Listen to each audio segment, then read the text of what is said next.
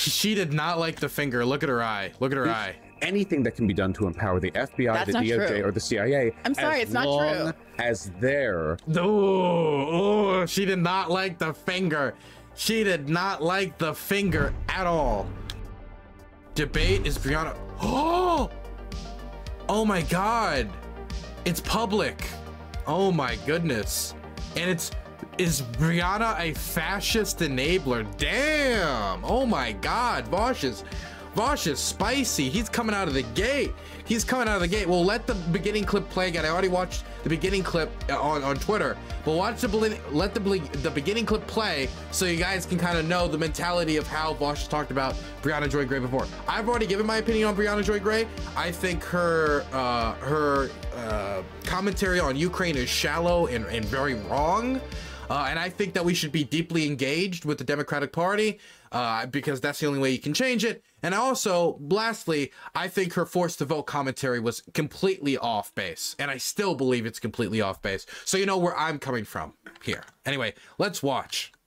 Vote fans and Briahna Joy Gray fans are fucking subhuman pieces of shit who are despicable people who are only in it for the aesthetic and for the Oh. grift. Dipshit retards like Briahna here. There are very few people on the quote left who I have less respect for than Briahna Joy Gray. What a piece of shit. I do hate her. We're never gonna have her on this show. Briahna Joy Gray is a Oh truly reprehensible gosh. person. They are spineless, grifting, weaselly, worthless little pieces of idiot. I have no respect for Briahna Joy Gray. This is what we call uh, a Joy Gray moment right here.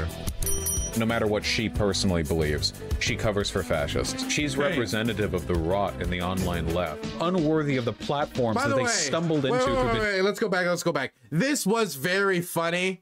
Okay.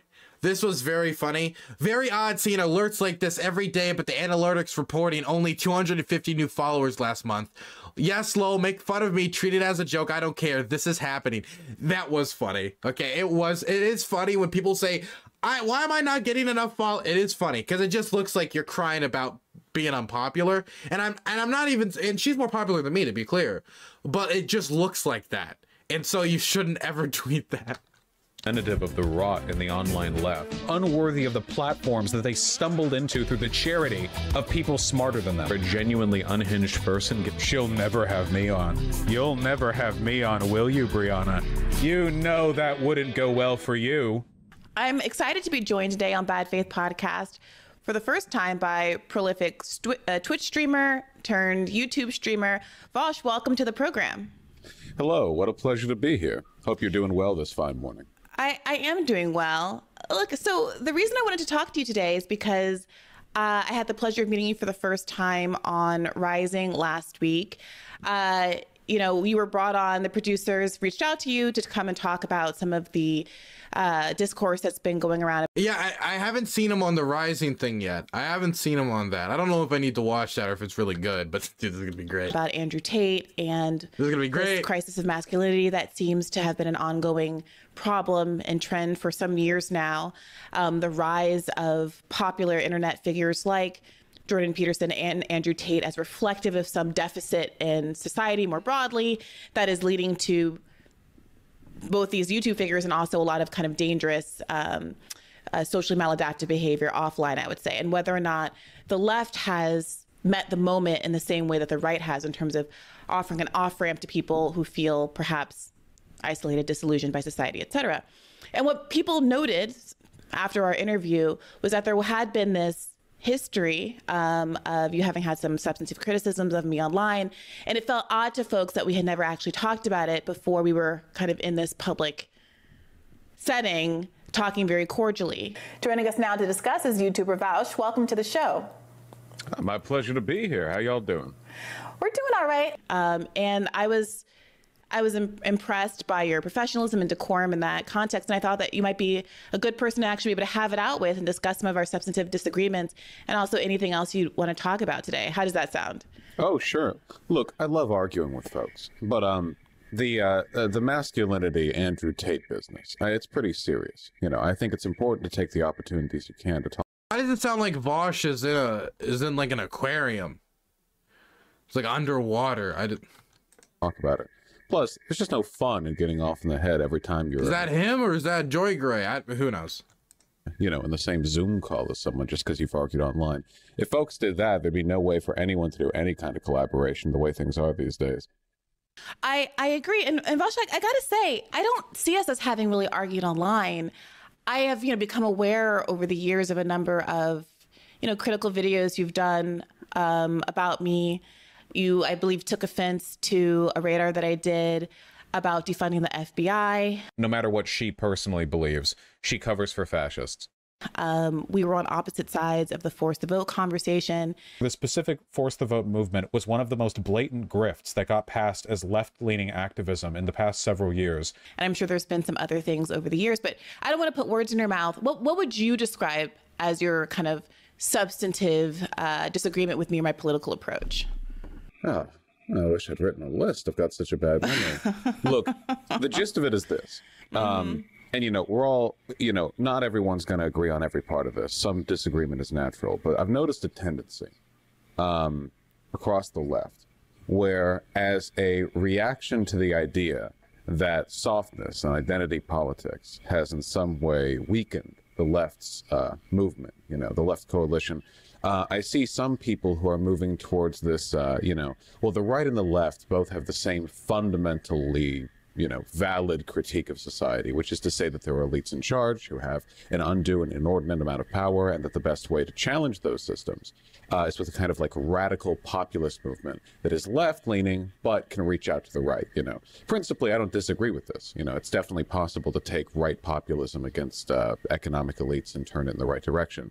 Sometimes, sometimes they're just mad about Jews. Um, you know, really a coin flip on that one. Notice sometimes this this discourse sort of spirals off and sends people in a bad direction. You know, I've criticized Jimmy Dore plenty. I'm sorry, just that sound of it. I'll, I'll ignore it, but God, that sound in his, his mic is just killing me. Uh, but Jimmy Dore is like, I don't think he has really very many, if at all, uh, redeemable qualities. If I'm being completely honest.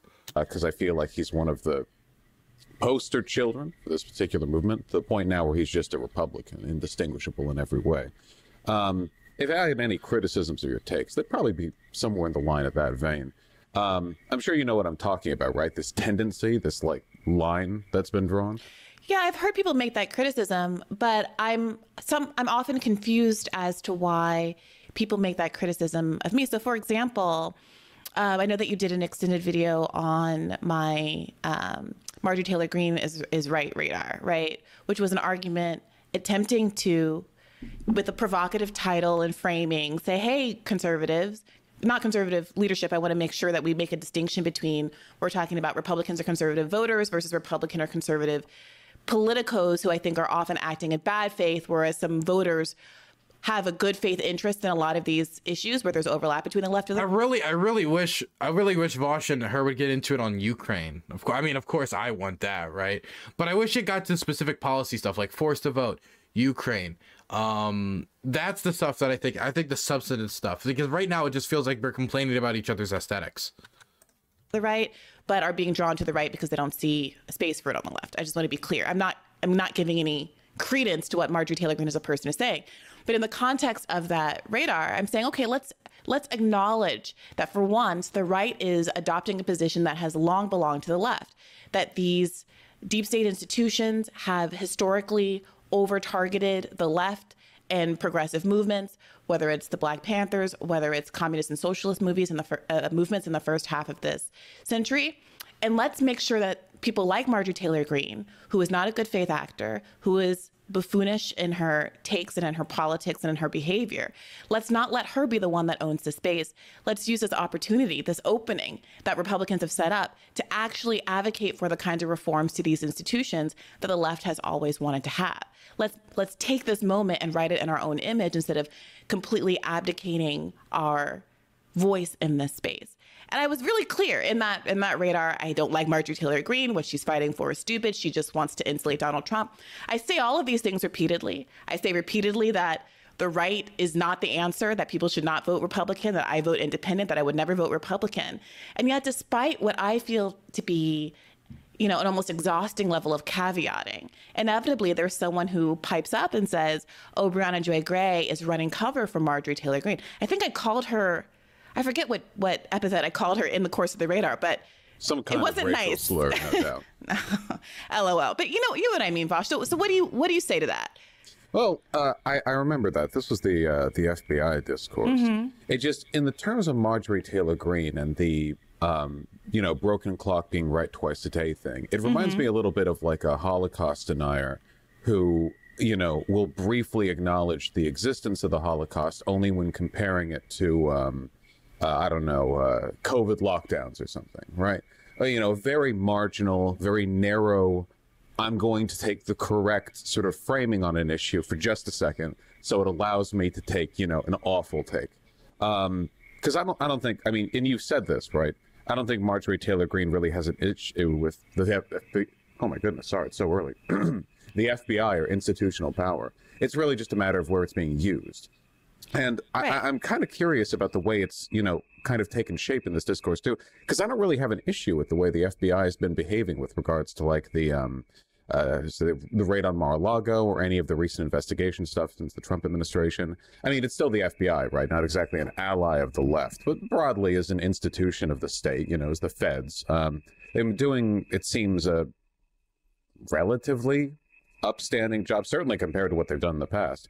And I worry about fomenting any kind of opposition to them now in the context of how the right sees them as being, uh, well, you know, if you accept the FBI as bad broadly, you're kind of giving leeway to the right there to make invalid criticisms against their behavior when they're targeting legitimately stuff they've done. So I think that's a perfectly legitimate argument, which is why, literally, in the context of that radar, I said part of the issue is that elites want to change institutions when they start to hold elites accountable. And that historically, the FBI and these kinds of deep state, for lack of a better word, institutions have been used to run cover for elites. And that's exactly what's happening right now. So regardless of how you feel about Mar-a-Lago, whether that's a was a political raid, and of course there's all this stuff going on now with Biden and whether or not he's being treated similarly or differently. And that's a whole other quagmire. But regardless of whether you feel like Trump is being unfairly persecuted by the FBI or not, the left knows how it feels about the FBI. FBI. And why not let the left make its claims about how the left FBI should be reformed in a progressive way? If you have concerns about the right only using this um, uh, issue of FBI reform as a way to insulate Donald Trump. And I, I find that a lot of conservatives in the writing, rising audience, for instance, are very hostile to the idea that a powerful institution would be weaponized to defend the rich but attack the poor, or even attack the left and attack the otherwise marginal. And they are open to that argument. And they, in fact, were very receptive to that argument in the comments of that video and elsewhere online. And so, again, I wonder what you make of that. I, I feel like that's a legitimate point that you made and one that I addressed in the context of the radar. So why why the kind of hostility about the radar in particular? Well, because of the framing, which to to be fair, you kind of did right there, right? The Mar-a-Lago thing and the Biden thing ain't really comparable. The raid on Mar-a-Lago was because Trump had failed to comply with pre-existing demands to turn over the material. Seems like Biden just, you know, dropped spaghetti on out of his pockets and left a bunch of documents everywhere. Stupid, no defending it, but not Well, really federal raid So, territory. No, I, I don't think they're comparable, and that's why Biden wasn't raided. I do think that because Biden took the position when the Trump documents were outstanding, that it was deeply irresponsible for someone, a president, to have been in this position. That I think he said something like, no one should ever be president who is so irresponsible with documents. And now here he is, obviously in the exact same situation. So I do think Biden set himself up for a number of comparisons and claims being made about his fitness because of overreaching with the Trump argument. Oh, oh, I totally, I totally get it. You know, I So you- tell you a secret. I voted for uh, Bernie during the primaries, not Biden. Yeah, Um, I, I'm aware, but you you did vote for Joe Biden during the general election, and Oh, you sure. advocated for people to, to to do so, which is perfectly fine. But I do believe Correct that's another take. point of contention that you've had with me. Yes, you should have. That people should have done that in a very consequential election. Could you imagine if Trump was in office during the war in Ukraine? Because some people are like, oh, so he wouldn't have gotten involved, which would also be bad. But knowing that Trump's outward proposal for what we should have done when he wasn't in office was paint Chinese flags onto F 22 fighter jets, bomb Russia, blame it on China, and start a war between Russia and China. I do not think he has the mental acumen or foreign policy experience to handle the situation with care from any position, period. That you perceive you were you disagreed with my hesitation to endorse Biden so quickly and my demand that the left hold out and including Bernie hold out a little longer in the endorsement process until he had gotten something more in the in the line of concrete concessions from Joe Biden.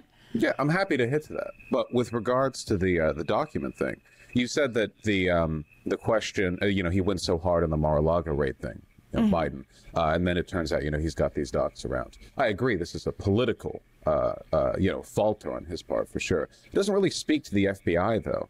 I wanted to ask though, you know, specifically because when when the cons are talking about the FBI, they're usually criticizing them for behavior I think is just and warranted, like the, the Mueller investigation, you know, for all the fun and fireworks that turned out to be.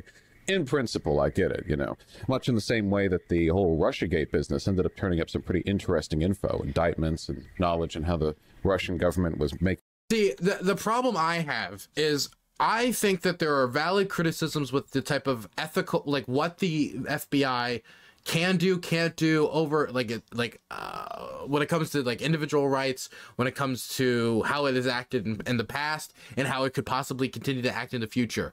But the problem is the criticisms that I would have for the FBI does not seem to be shared by people like Marjorie Taylor Greene, whose complaints with the FBI is they're investigating Trump. Stop. That's her criticism. You, she, you can like go into the specifics and she'll try to like walk you to, oh, well, now I actually have a problem with this specifically. But at the end of the day, she's walking back from that conclusion. Walking back from the conclusion that Donald Trump tried to keep classified information, classified documents in his home for fun after those documents were have already been requested away from him by the National Archives, and he did not turn them all over. And he turned some over, but not them all over. So he's literally still trying to hide some that that was it was evil and wrong for there to be a raid there and that was politicization of the institution. So disgusting so evil. The appointment of a special prosecutor don't care about that. Don't care about any of the processes put in place to make sure that it's fair to donald trump. It's, it's political because fbi that's really what it is. It's political against FBI, so either abolish the FBI, abolish the ability of the state to pursue Donald Trump in that manner, because they they decided to pursue him in that manner or replace it with an institution that is completely neutered or, or, or an institution that they will rebuild in their image which scares me the most considering marjorie taylor greene's politics so I, I don't trust her.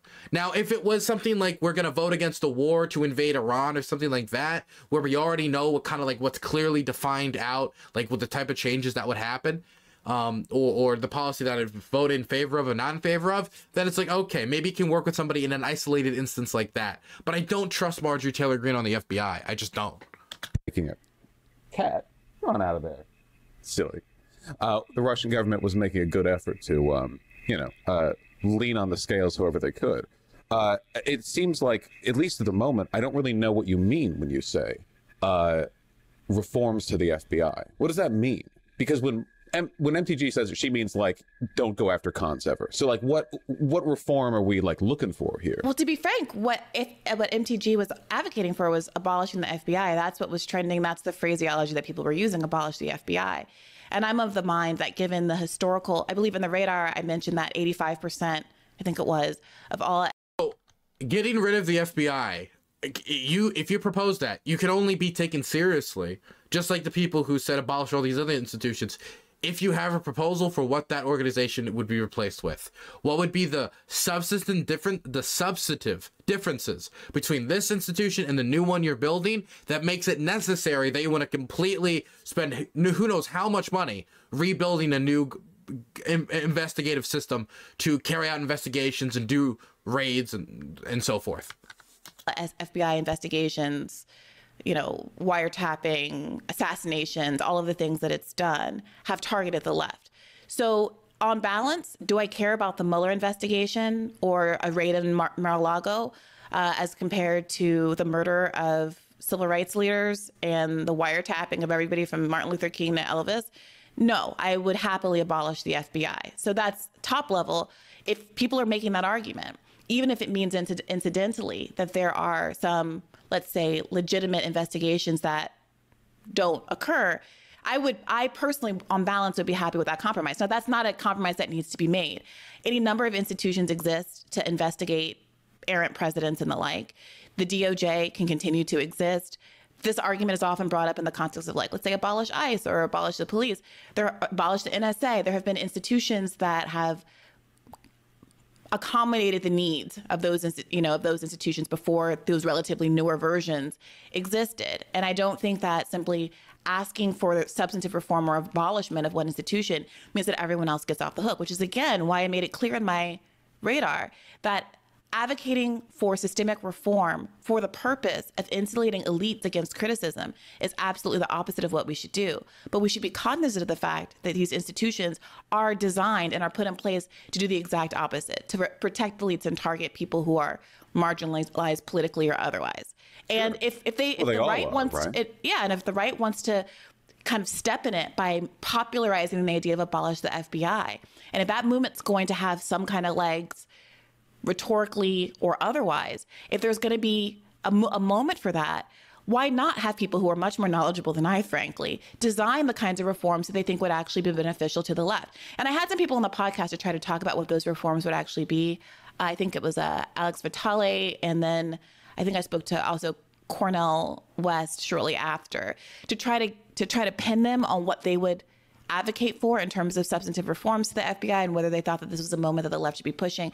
And while I think that Cornel West did agree that this was something that we could politicize and take over if we wanted to, I think very few people were willing, or maybe we just hadn't put enough thought in it because it's you know a new moment. And so no, there were no substantive criticisms or substantive changes that could be made to the FBI. Because okay, here's my thing: as as a libtard, I believe in institutions.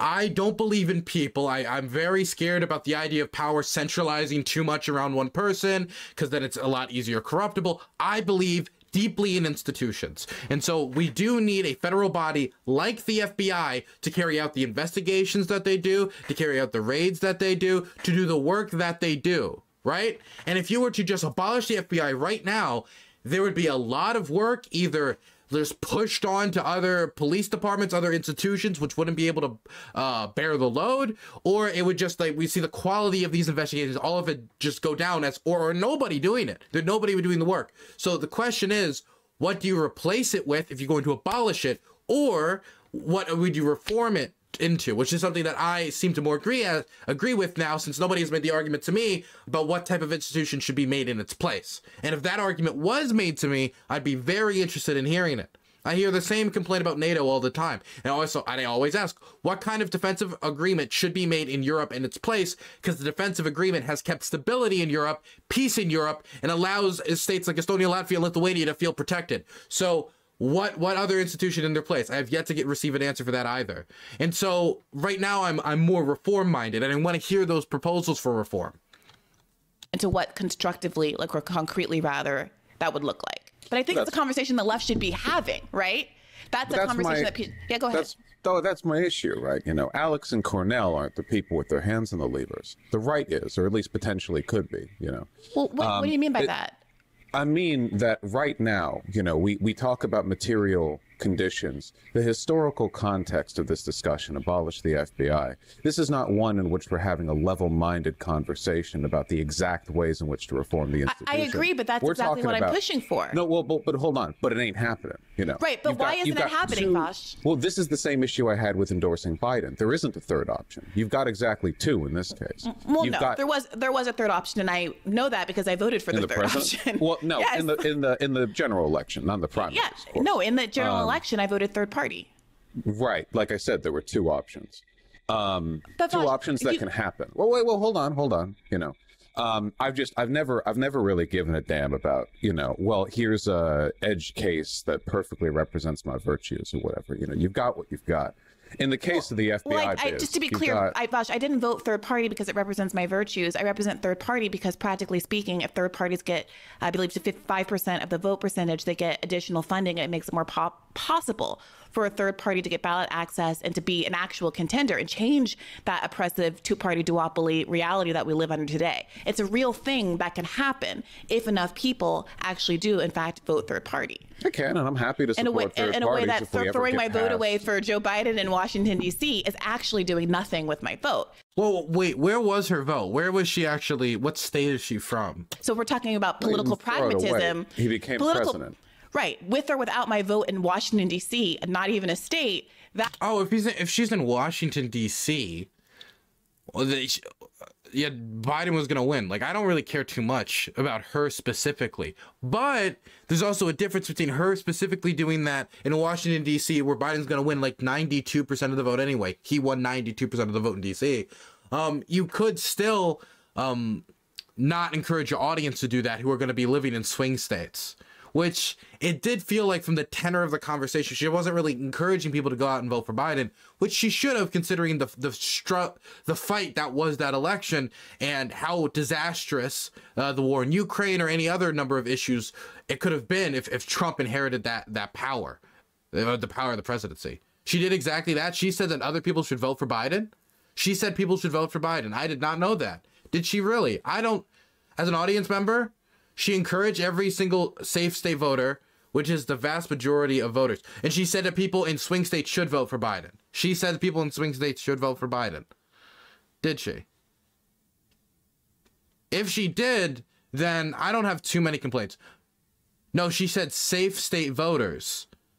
She encouraged every single safe state voter, the vast majority of voters, whose votes don't matter. Okay, so she no, let, you're not clarifying my question. So she said that people who are in swing states should vote for Biden. Did she say that?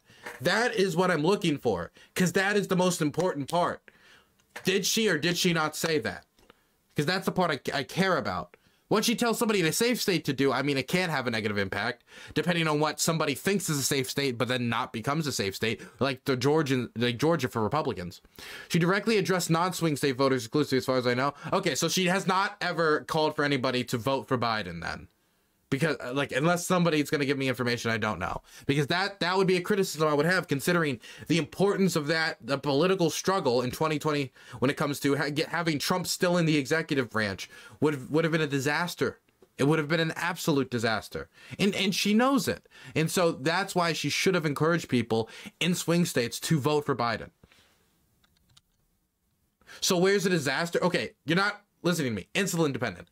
I believe it is somebody's job if you're informed in politics and you're left leaning. I think it would be good for you to go tell people to vote for Biden in swing states at the very least.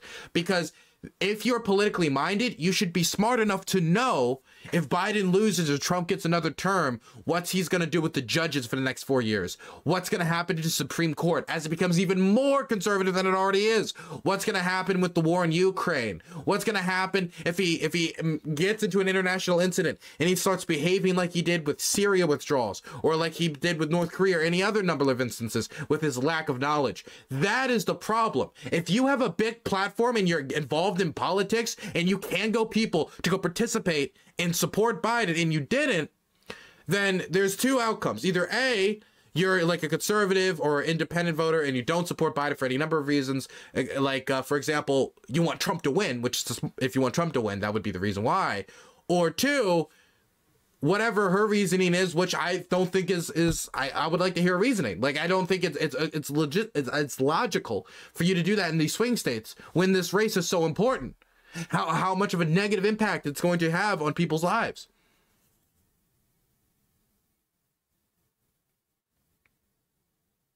So whether or not she is saying people and saying whatever she's saying about people in safe states, these swing states are important, and she should be encouraging people to go vote for Biden.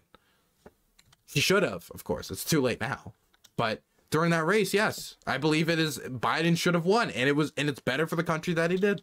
That that is the most effective way for me to actually politically represent my interests. I'm not. That's, my point here ain't about criticizing your vote. It's that only two people were going to be president, and there are Right, only but- two real paths to FBI. no, no, no. But those are those are two different. But Vaush, I want to be really clear here. Mm-hmm. You said there were two options. You didn't say at first there's two options for what a presidential outcome was going to be. But my vote is not not connected to what I want the presidential outcome to be. There are other political realities that my vote can determine, and it's the same thing with this FBI stuff.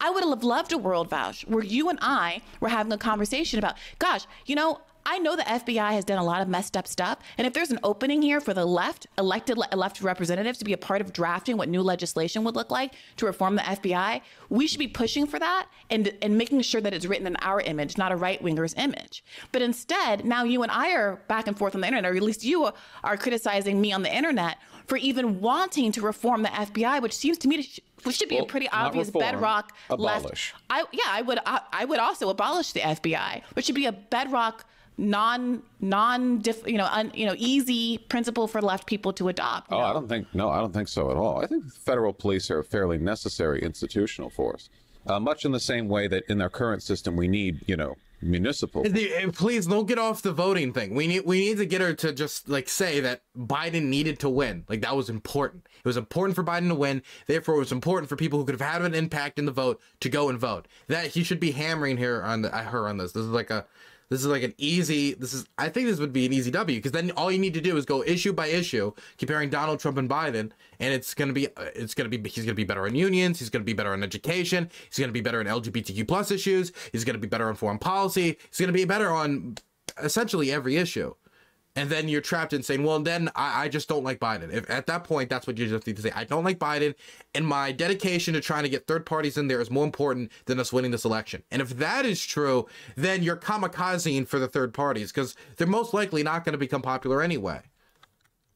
police. Uh, though obviously they are a largely harmful institution, you just can't up and abolish them. You need to take the work to put in systems that support the same basic functions and practices Vaush, was your res- was your response to me that well, I think that Briahna's going too far in saying that we should. Well, I, ain't gotten to my point yet because we keep getting we keep getting edge cased here. The issue go I have, and you know, we don't need to make no analogies to uh, Biden or Trump or whatever. The issue here is that in this historical context, there are only, you know, regardless of whatever paths you support, broadly or in the long term, there are two attitudes that are institutionally supported towards the FBI. One of which is the standard boilerplate, let them do what they do, you know, Democrats, whatever, moderates, um, and then the Republicans who want to abolish it. The issue that I have here is that the desire, well, that's true. I, I actually don't agree with Vaush here. I don't think that's the only two options. I think there's like more broader options. And when you say the Republicans want to abolish it, I, I, I it's either, I don't know if it's even abolish it. I think Marjorie Taylor Greene say stuff like that. A lot of Republicans just want kind of want to take it over and politicize it for themselves. And I do think that uh, like I, there are a few Republicans who are like more institutionally minded, maybe like a Susan Collins. I don't know, but I would say most of them probably don't even want to abolish it. More just like take it over.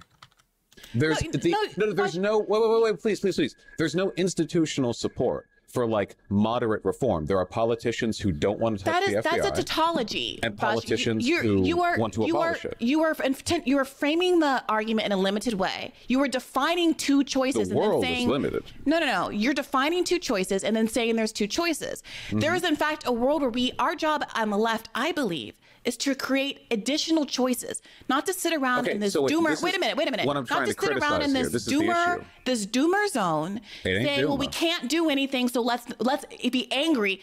Vaush, you called me a what a, a subhuman something, like a sub a subhuman wrote fascist or something. Force the Vote fans and Briahna Joy Gray fans are fucking subhuman pieces of shit Damn. who are despicable people who are only in it for the aesthetic and for the grift. you wrote down for my advocating- insults, but I didn't write anything down. Come on, no fair. Well, I've never insult. I've never I've never mentioned you in public, Vaush. I, I've never wait, said anything about you in my fine. entire life. Damn, she's going. She's going hard right now. Vaush, is- Vaush is she, she's she's she's become a rhino. She's gonna run him down.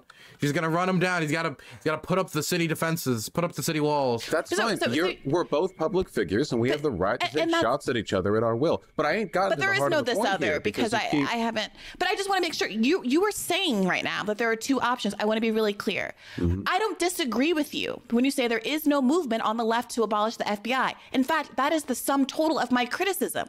Why is there no movement on the left to abolish or at least reform the FBI? Why is Marjorie Taylor Greene, in the context of a campaign to protect Donald Trump, the only person who's talking about reforming an institution that who's who's raison d'etre or reform. If you want to reform it, let's talk about reform, Vaush. I'm a 100% on board Well, with she's that. talking about abolition. So were Right. you when I asked you what reforms you'd well, make. well, I, I, Briahna Joy Gray would, but I am not, I'm not going to die on this hill. I'm going to talk, I want in a community with people who are like-minded, Vaush, about what the best strategy forward is. I'm not interested in defending my take. It's just a take. It's just a thought. It's just an idea love that I would takes. love I to love develop. talking about no. I don't want takes, Vaush. I want policy to make the left better. I want to change, make the world that we live in better. I'm not interested in scoring points on the internet. So if someone comes up to me and says, Well, I have a- I have a right. tweet. Damn, she's she's kind of. It sounds like she's kind of just calling him a debate pro now. Oh snap!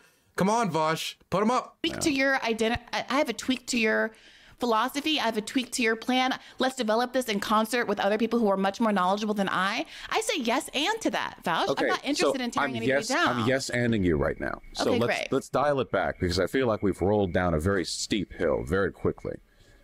The point that I'm trying to make here is that there are times and places to make certain types of criticisms. Now, whether or not I even agree with the abolish the FBI bit, you know, it's fundamentally what this strikes to me is like an Andrew Tate fan screaming, you know, Andrew Tate's been arrested on accusations of sex trafficking. Let's abolish the police. He shouldn't be able to be arrested for that. And a lefty stride in saying, oh, you want to abolish the police, do you? Hmm, well, maybe that would be a good idea. Now, I understand the temptation of this argument because you're meeting them where they're at. They're interested in this thing. But the truth of the matter is, and the thing that frustrates me is, they're not actually interested in police abolition. They're interested in getting their guy off. And while you think that you're doing our side, you know, um, polling people interested in getting Donald Trump off over to broader FBI abolition, I think what you're actually doing is the opposite, which is you're giving the institutional legitimacy of the left's critique of the FBI over to the far right who just want to get Donald Trump off. And I think that's kind of iterating the fact that despite all your caveats and criticisms, MTG still quote tweeted you, touting around, oh, look at this lefty former, you know, secretary for Bernie Sanders. Even they agree the FBI has gone too far. And when they're in that mode, they'll take any stance. They'll say, oh yeah, they killed Dr. King. They they they killed Fred Hampton, you know? Not that they give a shit. Um, and then they'll run with that as a specific part of their program to get their fascist wannabe dictator off uh, investigations and charges. But I don't think it does much to support real criticism of the FBI. I think it taints criticism of the FBI because it associates them with this insane MAGA, uh, you know, uh, hysteria. I think it worsens our arguments because it connects us and emboldens them to their argument. So, what arguments is the, are the left? You, you mentioned that this is the wrong time. Is there a movement separate and apart from the conservative movement that is at all vocalizing any interest in reforming the FBI in any way? I don't even know what reforms we're talking about here. What are we looking to do exactly? Because I don't know if I'd agree with that. This is the I admit- main question. This is all he has to keep asking. Like, I will support a movement to reform the FBI if this move, if the discussion is centered on those specific reforms and not entertaining these Republican delusions that Donald Trump uh, getting his home raided was this evil sin against God, and not because he kind of, you know, violated the law and would not return the documents, and that the FBI did not horrifically and like with the deep state steal the election, all this other nonsense that is repeated time and time again. So what what matters here is the specific reforms. I would be fine with a movement to reform the FBI. Absolutely. Are you kidding me? I believe in institutions. So if we can strengthen these institutions and make them stronger and better for our society, yes, absolutely. Absolutely. I want our people to to trust in our institution. It's, it, it leads to a better society. But I need to hear the reforms.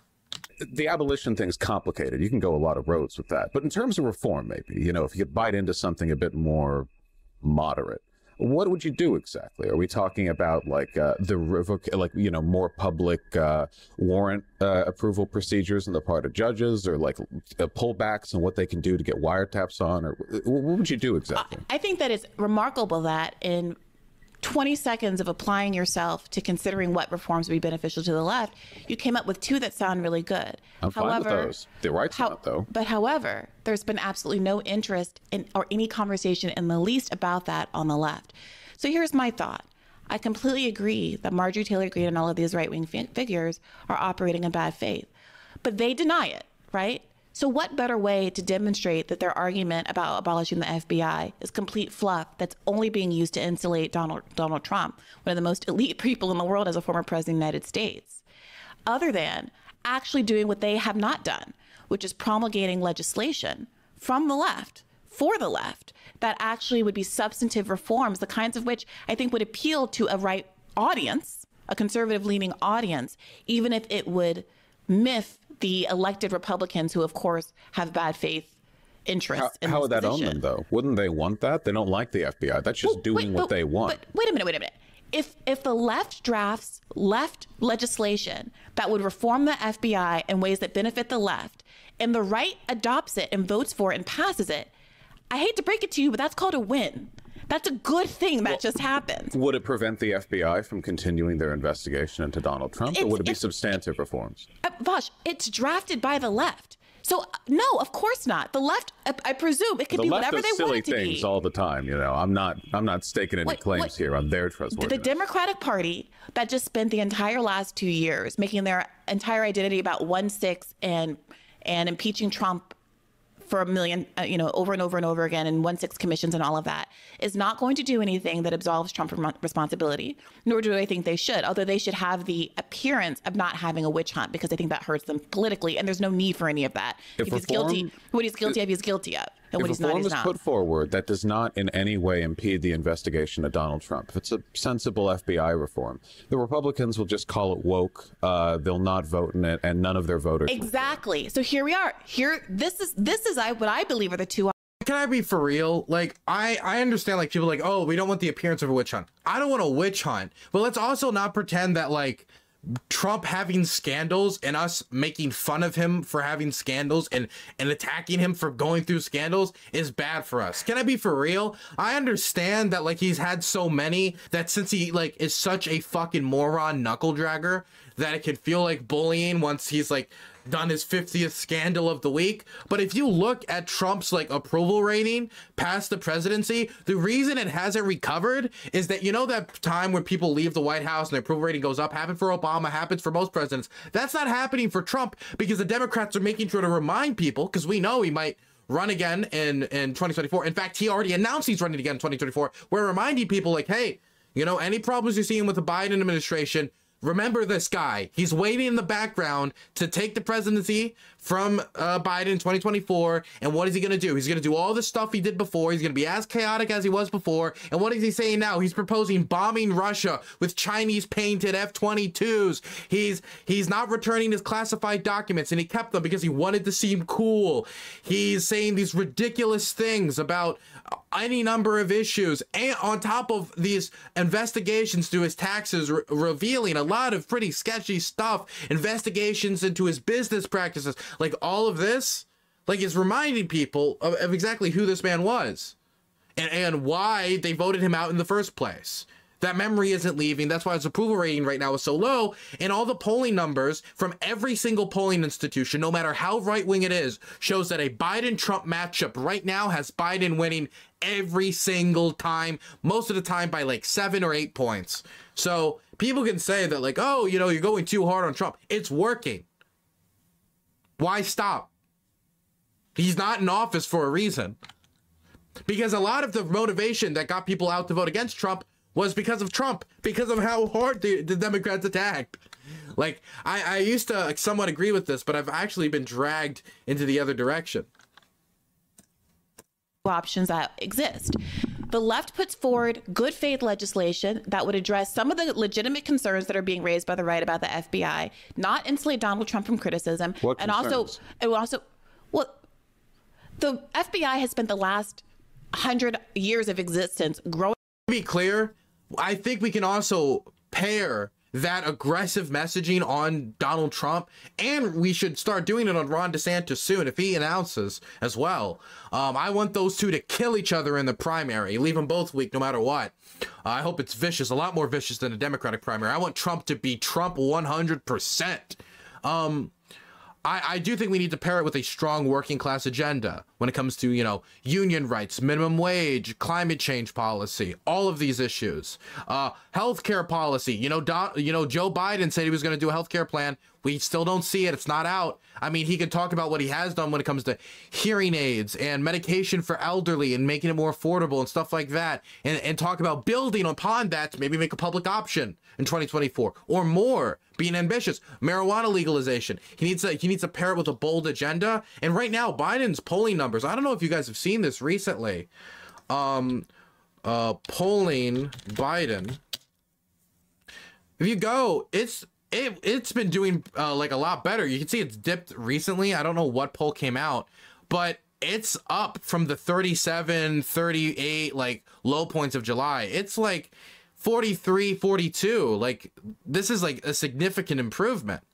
And this is because of the agenda that he's actually tried to pass getting through and the energy prices recovering and he's doing really well right now. So, you know, I'm just saying, got to also invest a little bit into the attacks. That's all I'm saying growing its power and growing its reach. There is, a, I think, a perfectly legitimate argument about various aspects of the way that the Department of Justice and the FBI have focused on Donald Trump and some like what in- inequities. Well, I thought you just said this legislation wouldn't do anything. Well, that's that's my whole point. So why are you asking about that, Vaush? Well, wait, that wait. Then why did you just say? But you just said that though. You were uh, just like, okay, well, I think address it's fair some to be honest. concerns. I think it's fair. I think that some combination of the media's behavior and the FBI's behavior. It's obviously even when people do bad things, they can be politically motivated in their approach. I think that's perfectly possible. I don't know, right? Like well, I don't know. Now, that's, well, wait a minute. We're doing well, the narrative. Well, wait, let me let me finish the sentence. You you just asked me, Vaush. Let me finish the sentence. Let me finish the sentence. I don't know, so that's why I don't want to opine. Burns but I'm not trying to opine on, for example, whether immorally corrupt, War Machine, thank you for interrupting Briahna Joy Gray. Give me a tier one sub for the third month in a row. I appreciate it. or not this narrative that's out there that the FBI held up the um, making public that Joe Biden had these outstanding documents until after the midterms because they didn't want to hurt Democrats. I don't know if that's true or not. I'm not interested in. Wait, okay, you can't just say I don't know if that's true or not. That's a claim that has no evidence as of right now. So, in my mind, if there's not evidence for a claim, I would disbelieve it until there's evidence. She's just kind of be like, question mark, like it was six it was a six day time period i don't want to get too much into specifics but it is not impossible to believe in the in that in the six day time period it didn't become front page news promulgating that narrative. But I think that there it's completely possible that there are some there is some legitimacy in terms of the targeted nature of those attacks. If there's not, then great. Then But there's now nothing. this is this is their But- narrative now. But but look, here's the point, Vaush. Ignore all of that. The point is that you get to design. You you can't just come out give the opinion that that entertains the delusions or as of right now since no evidence has come forward again un- unfounded delusions uh fear and you entertain it and he's like i disagree with that and now you're like forget everything you disagree with moving past that what do you mean ah whatever keep creating. Here's here's what's so interesting. You keep coming up with versions of legislation you don't like. When the reality is, this is a, an opportunity to come up with the exact legislation you do like for the left to be advocating for whatever it is. You don't want to abolish, I do want to abolish. My whatever congressman? you whatever you want to do is what we should be advocating for, is my belief, progressives to actually take up and run with. The slight progressives power that I have is over discourse, I- not I'm not- I'm not talking And about the- you literally, Vaush, obviously. I'm talking I about what we that. push elected I- officials to I understand do. that, but notice how the rhetoric is shifted, right? Always little bits of it pop up. What we're talking about right now, the left constructing criticisms of the FBI in the form of policy and legislation, that has nothing to do with giving the right accolades on getting a broken clock, you know, twice as right kind of deal, on criticizing the FBI, nor on pulling people from the right over, nor on meeting some of their legitimate criticisms of the FBI, of which they have only one, by the way, which is the fact that the FBI doesn't work for them. Now we're just talking about crafting policy to reform the Dude, this is unironically right though. The the main criticism it feels like a lot of times, not from everybody, some people are genuine, but a lot of times it just feels like th- this is like an effort they just want to they just want the reins. It really does feel like that. police, the FBI. That's why like that but that's the thing. That's why I disagree with his to- totalist uh whatever I don't want I don't want to use fucking Briahna Joy Gray's words because I don't know how to pronounce it because I'm I'm very bad with English. But that's why I didn't like the black and white dichotomy that Vaush painted. There is a gray, it's just the gray is depressing because the people in the gray are people who don't want to abolish the FBI, they just want to politicize it in their direction. Are Well, police, no. after all, fundamentally, and I've always supported reforming the police in many ways. But notice how now we're talking about something reasonable, which is, hey, you know, the federal police are, as many police institutions, rather corrupt and I, I hate to break it to you, but we there's a part of this community that has been talking about something reasonable the entire time. And your your your reluctance to participate in that is a, is a choice, and that's completely fine. But there's some of us who have said, we were Like doing what Marjorie Wait Taylor. Greene wants by abolishing the FBI and giving them accolades and saying Look, they have legitimate I- criticism I- and saying the FBI might have been politically motivated when they have Trump. yeah. Notice, no, you slip in like these narratives here, right? I think that- which aren't well, necessary when Vaush- criticizing the FBI in like a you formative you way. obviously like the FBI a lot more. Like, I I 'em. you're not you're not going to convince me to not want to abolish the FBI. So I don't even think we should go down that road. See, well, then, uh, then at the uh, end of the day, all you want to do is what she wants to do, and Well, such you're prattling about. that's- It's meaningless. that's- You just want well, to do. a- a Vaush, wait, no, no, I don't no, think I'm wait. prattling about anything. a- This is my in a- show, and I'd like you to a- offer wait, me wait, a we're modicum of respect here, We're both prattling. It's okay. It's fine. Prattling is fine. It's a free country. But no, at it's, the it's end not. of the day, I, I Ah, boy. Ah, boy. Boy, Vaush is getting in the trenches. Hey, woman, you're prattling. Ah, good. He's like, then he's like, hey, you're not gonna go. Oh, you know, actually, we're all prattling. We're all prattlers in the eye of God. Oh, here we go. I A take. I think that's disrespectful, and I've been look I- in the background We're- of all of we're this. both grown-ups wait a minute. here. It's fine. Wait a minute, Vaush. Wait a Mm-hmm. minute. In the background of all of this is you are sitting here in a way that is. um In the background is I'm. I've been trying to The thing is, this is the problem when Vaush talks to somebody, and this is also the same problem Destiny runs into. Is he on the show called her a subhuman piece of shit, right? And people like her that. Now he said that because he deeply disagrees with, with Briahna Joy Gray, and I agree with probably the majority of Vaush's criticisms of Briahna Joy Gray and, and things she said, whether it's around Ukraine, Force the Vote, Joe Biden, etc. Right?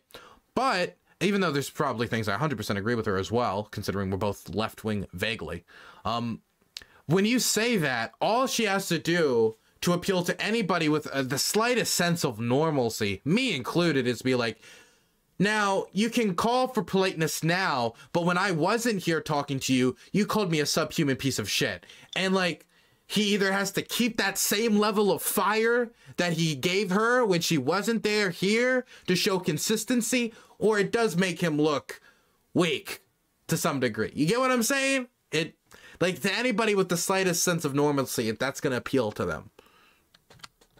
Downplay. I've been trying not to emphasize what exactly your response to my radar has actually been. The reality is, you called me a subhuman piece of shit as a consequence. Hey, She's doing this. This is smart. I mean, it's it's an easy thing to, to pull back to be like, hey, look, come on. Like you can call for normalcy now, but you weren't normal with me earlier. of what I think is, and I, what you just characterized as a reasonable conversation about reforming the FBI.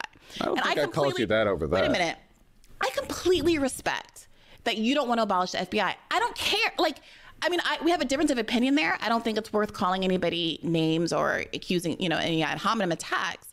But my point is this: if all you are willing to get to, if all the, the, the place where you're comfortable is to say, wow, in this moment, it would be nice if left progressives or Democrats in Congress were advocating for the kinds of reforms that they think are valuable in this moment to provide a meaningful contrast to the kind of self interested, elite protecting reforms that Marjorie Taylor Greene is going for.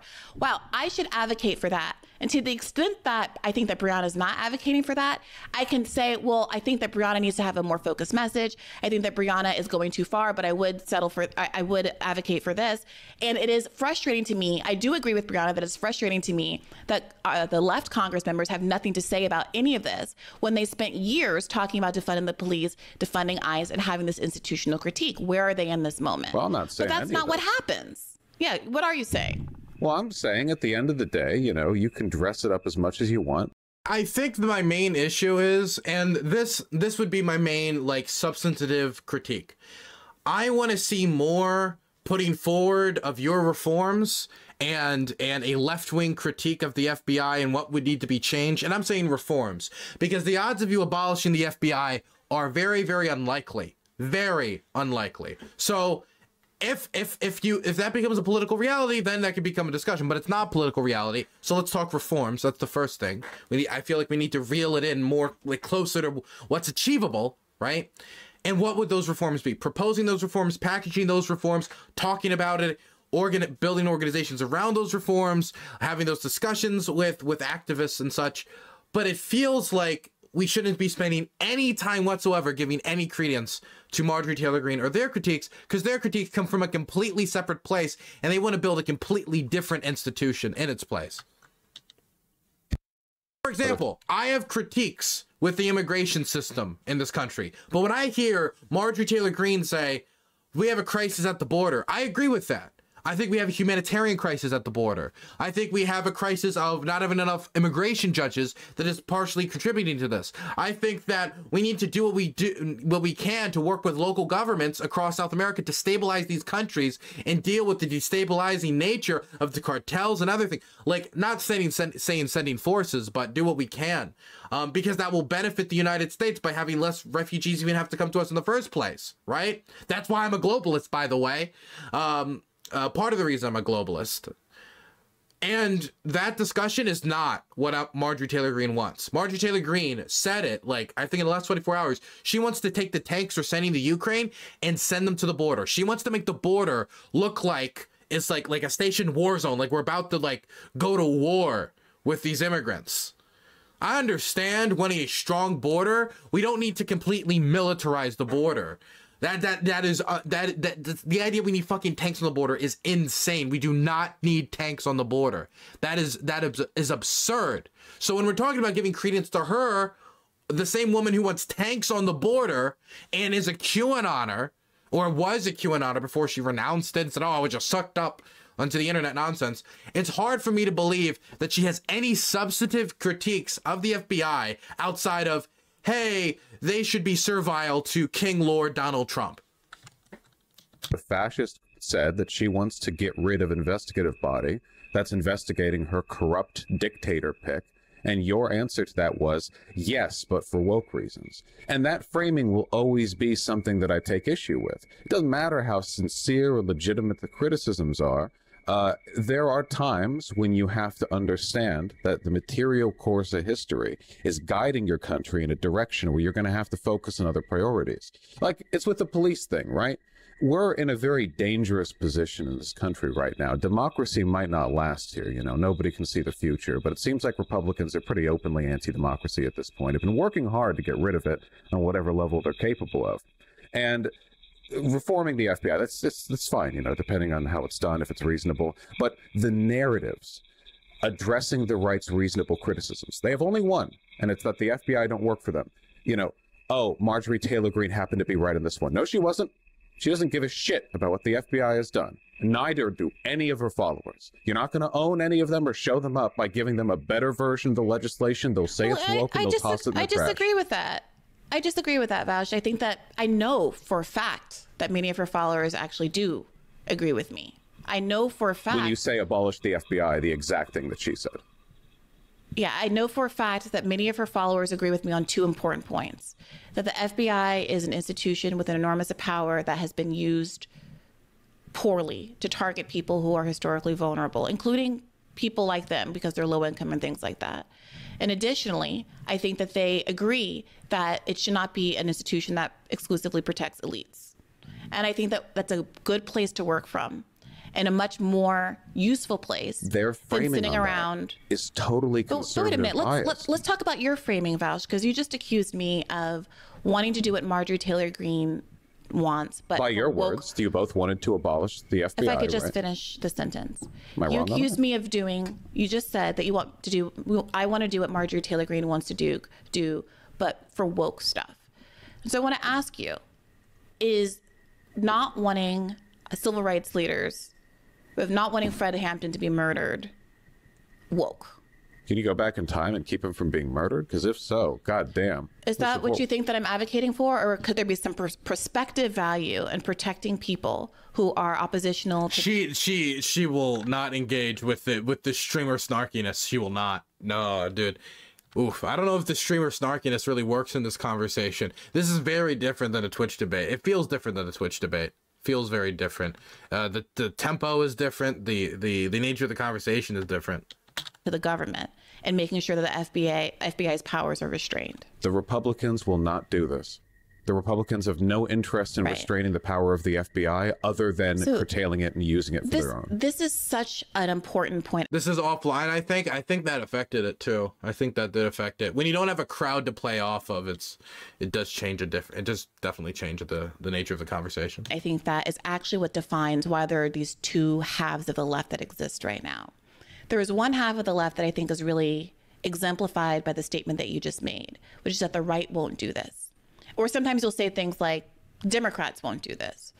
And the entire political discourse is limited by what you believe the pre existing actors in place are willing to do, which means at no point is there any conversation, even in loose, ridiculous kind of podcasty formats, at no point in academic spaces and political spaces and media spaces is there any place to germinate ideas that have the power to actually push the Overton window in any way. And I Absolutely. think that that's I think that's really destructive. And you don't have to agree. No, there is. There is. But you don't got to jump on a fascist trying to protect their strongman in order to make those points. Because all you're doing is legitimizing and giving left approval credence to them. Same thing uh, Donald Trump did back in um, uh, uh, 2015, by the way, talked about how the DNC was screwing over Bernie. That wasn't him, you know, and some lefties bought this. That wasn't him Of course not. sincerely criticizing the corruption of the DNC. That was him, you know, uh, trying to, you know, uh, uh, uh, get a bite of lefty legitimacy as a maverick who could But I, criticize I powerful love that example, Vaush, because the man won. the man Yeah. became president of the United States of America because that message resonated, rightly or wrongly, bad faith or good. So if if And if has some- he addressed corruption in the political No, but I'm not Donald Trump. It's the reverse situation, Vaush. It's me saying to a conservative audience, hey, there's some legitimacy. Yes, I believe there's some legitimacy to your concerns here. Just like we opened this conversation talking about no, there about. not because their concern minute. is that Donald Trump is like- being targeted. just like we opened this conversation talking about how there's legitimacy to all of these a lot of these men who have moved to the right because they feel like the social contract has failed them they don't have a place in society anymore they have leaned into a kind of misogyny because they don't have traditional gender roles to conform to and feel lost and lonely. I don't think that misogyny is okay. I don't think andrew tate is okay. I don't think rape is okay. I don't think any of this that is okay. I don't. but there's an underlying there there. I don't open that discourse by looking at Andrew Tate going on about how he thinks society has failed men because you can't rape women for free anymore, and go, hey, he's right on this. Not about all of it, mind you, but he is correct in that society has failed men, Well, and I don't- take it from there. I don't what, know what, what- you're doing. I- I, but wait a agree. minute, You have to stay- reach these stay there, people where they are. Stay- you stay can't there. Take their bad faith message and stay, go. stay there "Ah, stay there for a second stay there I don't know what Andrew Tate has said. I've never like listened to Andrew Tate speaking. I got in but the if, ballpark But, if- but if says. Andrew Tate He said, uh, oh, did you, did I hate you too? I'm sorry. What are you mad that I choked you a little bit? He said a lot of crazy shit. He's admitted to like stealing his, his, uh, cam girl's money through lying about tax. I mean, the dude's, the dude's a cyber pimp. He's an, he's an insane schizophrenic cyber pimp. Tate has said something like a Well, I would say not insane schizophrenic, more of a con man, more of a con man cyber pimp. Sentence like, I don't think there's a place for men in society anymore. I think it's 100% legitimate to say, look, I disagree with everything that Andrew Tate stands for. I think that he is normalizing rape and violence against women, and that's a pro- that's disgusting, and he'll probably be criminally liable for it.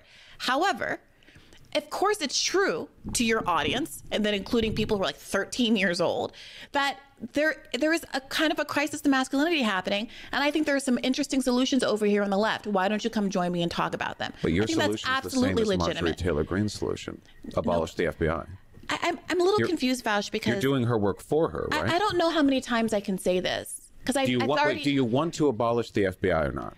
I, Briahna Joy Gray, think that that's a perfectly legitimate solution. One that, by the way, I could be, I could be moved on with people who are knowledgeable about what parts of the institution should stay in place, what per- preserve a, a certain function that I might agree is useful, etc. Because I claim to be no expert on the uh, uh, the entire workings of the FBI as an That- institution. that's- that's fine. It's complicated. But Vaush, it, it almost doesn't matter because what I have said to you now repeatedly is that whatever version of FBI reform that you support, right? Because uh, abolish the police, there's a whole lot of things in there that a lot of different people believe. Some people think it's not really abolishment if you're replacing it with this other institution that you can call the police or not call the police, but has a very different function and different funding and different framing and all of those kinds of things. But the point is, this was an opportunity for substantial reform, whether or not you want it to be quote unquote abolished or not. It's not an And opportunity for substantial wait, reform. and it was an opportunity for liberals, leftists, whomever in Congress who are elected to call Marjorie Taylor Greene's bluff and say this is actually populist legislation that protects vulnerable people against the overreaches of the government. This is what you're purporting to want, and if you actually believe in it, sign on to this legislation. wait, we- and when gotta- she doesn't, gotta- we- we gotta get to the heart of this. No, no, and when she please, doesn't, please, I, am like six words away from Okay, the end okay, all right, okay, you're six. Okay, we're at the end. Okay, we're at the goal. And when she doesn't, that's the opportunity to call her bluff. Okay, you can't call their bluff. We've been doing this for decades. We The literally haven't. The Republican, no, you will. The Democrats have. That's how easy it is. No, they haven't. No, they have been because the Republicans will talk about any manner of emboldening or empowering the American people, or helping the American people get more change in their pockets, or lowering taxes or anything. And every single time the Democrats do anything that would objectively improve the lives of the working class, the Republicans go, ah, this is woke, and don't pass it. Oh, any climate change reform? Ah, that's woke. Anything having to do with green energy? Ah, that's woke. Anything having to do with like uh, unions or healthcare or anything? Ah, that's woke. Toss it out. There is no calling their bluff because while they may say they care about the FBI exercising power over the weak, internally they have a consistent message: was they want power and they want to kill you. Uh, you, of course, being whatever marginalized group is on the table these days, probably not me. Um, the the idea that you can I think that you're wrong bluff- about that, but I'll, I'll No. just put, put it in that. Let you finish. Go you, ahead. you can't call their bluff on this. It doesn't serve any point. The only thing you're doing is listening to a fascist trying to embolden her political strategy for removing democracy and all the barriers that prevent her from doing so, and going, ah, yes, I think that she's right on this. And then you propose a solution identical to hers. And Wait, then wait, the wait, wait. wait, wait, wait, and then The the, solution reform is not identical to hers. wait, How wait, many times are you the gonna say that wait, straw wait, wait, man, wait, wait, wait, wait, That's I'm- no, I'm crazy. fa- caveat. You now we're interrupting both ways. And the reform version, the more let's introduce the discourse here, you still frame as addressing some of Republicans' legitimate concerns. They It have is. none. They have none. The Republicans are uniformly against any kind of power being taken away from authoritative institutions. They will back anything that can be done to empower the police, anything that can be done to empower the FBI, That's the DOJ, true. or the CIA. I'm sorry, it's not long true. As they're in charge.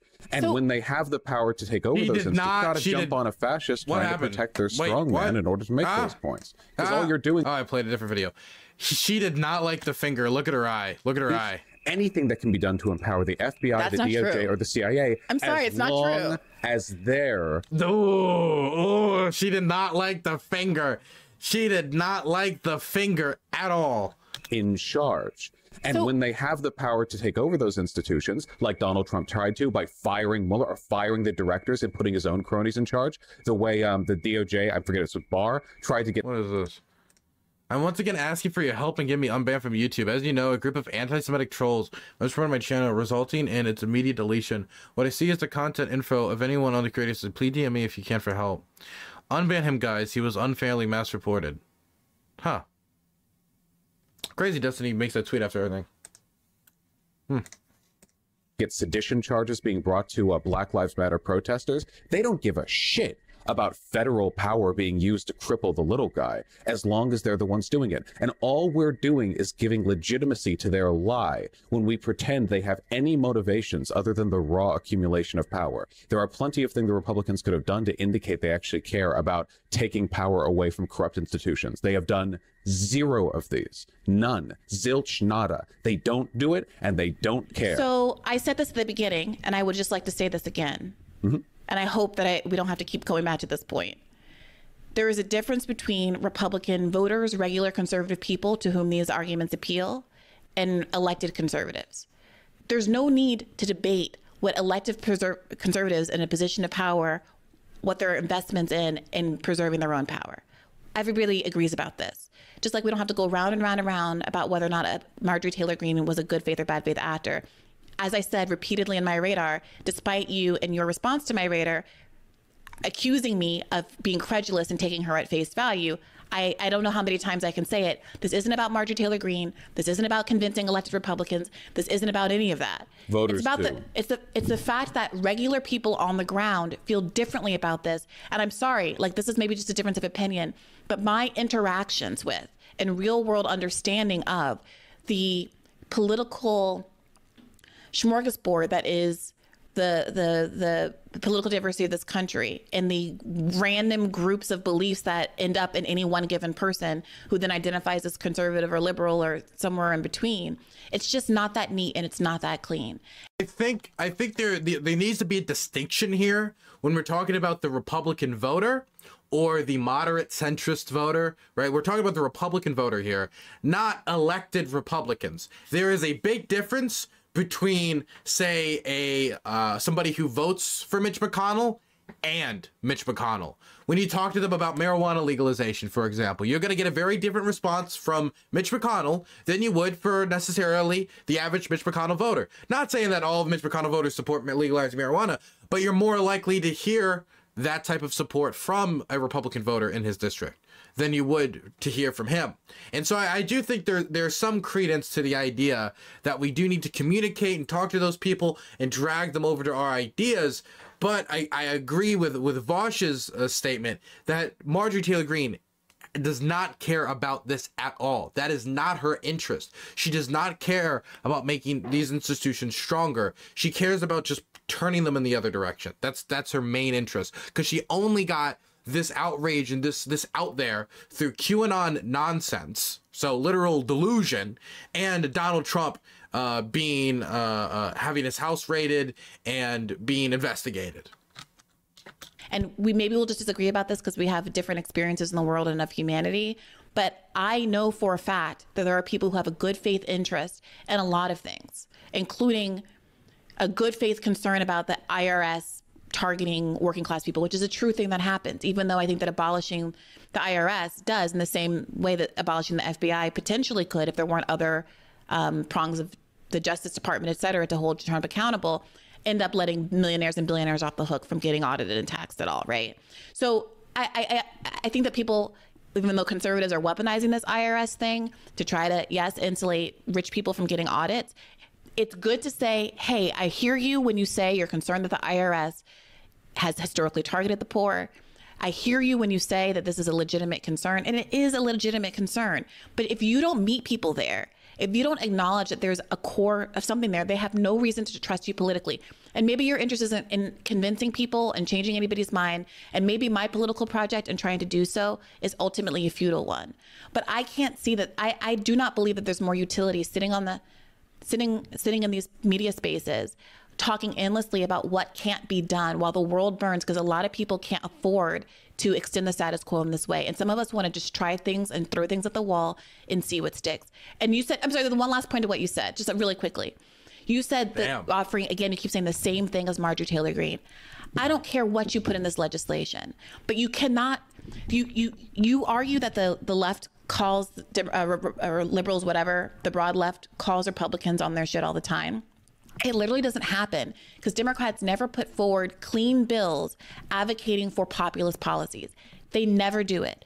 We saw this happen with the $15 minimum wage, where it was part of a must pass bill. Democrats intentionally took it out so that it could be killed. It was it was a 51 bill, right? It was part of the the COVID reconciliation package.